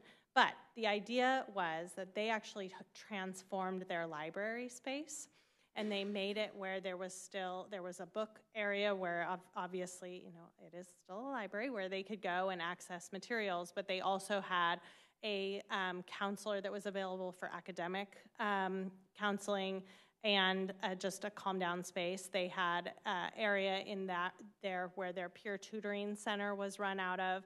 They had areas where students could just gather and be together and just have a safe space if they were a student that didn't have that group that they went out to find at lunchtime or that, that um, nutritional break time, they were able to go and access um, this area. So I think that the sky is the limit on what we would want this to be, and each school um, site um, would need to work with teachers, counselors, parents, students to really identify and create what did they want in their hub spaces it was, it could also be a space where we say our third um, party provider of working with Wellness Together, and all of that is done through the formal MOU process and parent permission process.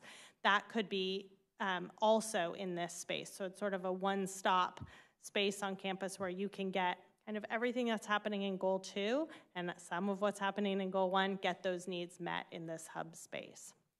The committee even tossed around crazy ideas like games and, you know, shuffleboard. they had a good time dreaming. yeah, I. I, I love the, the, the, the creativity. Um, are these, so this is different than clubs. So these are not necessarily topic specific. Um, I, I'm hearing these are not clubs. This is identifying locations that students can go to increase their connectedness with each other yes. or with the school. And connectedness to adults. So there was great interest on saying, one of the things that's actually written into were we to receive one of the grants is that there was interest in different um, teachers at different um, that were interested in having release periods and doing work with students on building connections and supporting them with their academic learning and supporting them with their five-year plans and that, that those students could actually go and access um, trusted adults and teachers um, during the school day um, that could help them kind of and, and guide them with questions or other connections. So the, the interest really started, I think, with one of our parents of being very vocal about wanting to ensure that our community um, schools committee wasn't just looking narrowly at mental health, but had a very broad focus on student to student connectivity, some of which could be met through sports and clubs and other things, but others of which should and could be met by creating these spaces on campus where students um, could could go, but that weren't like what you might see in other districts of just like um, like a more mental health facing center. This would be more of a space where students could gather and connect and get tutoring and get um, and also receive mental health services that that is the area that they needed, but that that wasn't the only thing available in these centers. Mm. But this would be during class time, is that what I'm hearing? We always have to have a lot of parameters around these, and so this would be a next level of learning for us, would be typically, um, you know, if a student needs to have access to some, you know, to that it, there wouldn't be like you don't get to be out of your class for a whole period. That was something that was brought up um, by the committee, um, but that it would be open during kind of free um, like lunchtime, you know, on campuses, or that, you know, if you don't have a, a class assigned during your flex period or your plus period, those kinds of things, but that there would need to be parameters put on it if you're supposed to be in your math class. You know, so those are some next steps. We don't have all of the answers identified yet. Thank you. Mm-hmm. Thank you for all of your work on this. Huge, huge lift. Appreciate it. I just wanted to add my thank you to that too, just sitting on one of those committees, I saw how much work went into just that. So I know this was so much to get done, and we really appreciate your hard work and the hard work of those who were coming along beside you.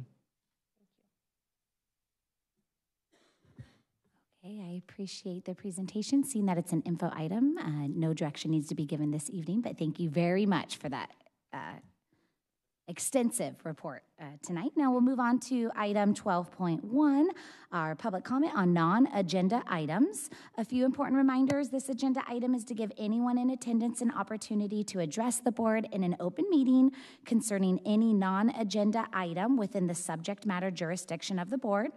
The board will not take action on any item not appearing on the posted agenda, but may refer the matter to a staff member for follow-up.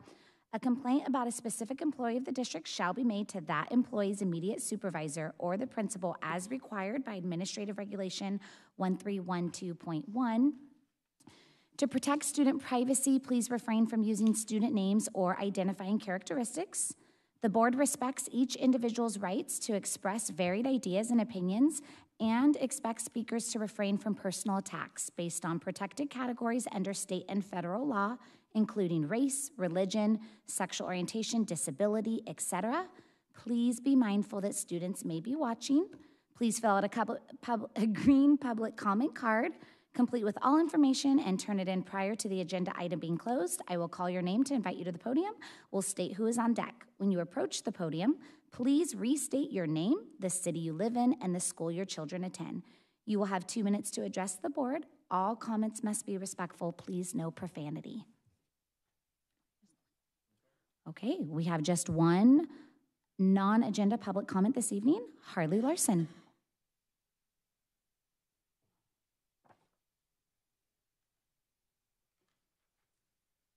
Uh, hello again, board. Harley Larson, Rocklin Breen. Uh, just some thoughts on where our taxpayer money could be going. Uh, more than half of our elementary schools received a poor rating on their interiors last year. Broken ceiling tiles, cracked floor tiles, trip hazards, loose ramps, broken outlet covers, uh, just basic safety stuff. But maintenance costs money. For uh, Cal Ed Code, the district loses funding when class sizes are too big. It's hard to teach large classes as well. For grades four through eight, the guideline is the average number of students not to exceed 29.9 per classroom. Note that these numbers are averages, so some classes are larger. At Breen last year, fourth and sixth grade classes averaged 32 kids. Sierra Elementary averaged 31 kids in fifth. Antelope Creek averaged 32 in fourth and fifth. At Sunset Ranch, the average fifth grade class was 31 kids. I could go on, but we only get two minutes to speak. Last year's incoming kinder class was the biggest in the past several years. The tax bond that they reviewed earlier uh, has text in it that says the conditions of overcrowding continue to exist in the district, but more teachers cost money. Rocklin teacher salaries for all experience levels are lower than the California state average, while principal salaries are all higher than the state average. Beginning teacher salaries are $11,000 below state average at just under $45,000 a year. Rent for a one bedroom apartment in Rocklin is just under $2,000 a month. My oldest is in fourth grade, and she can do that math thanks in no small part to our teachers here in Rocklin. Teachers who might be renting a one bedroom apartment. Teachers who we see trying to work with this board and being met with outright hostility at times. But teacher salaries cost money. All it takes to fix this is your vote in November, so I hope to see everyone voting.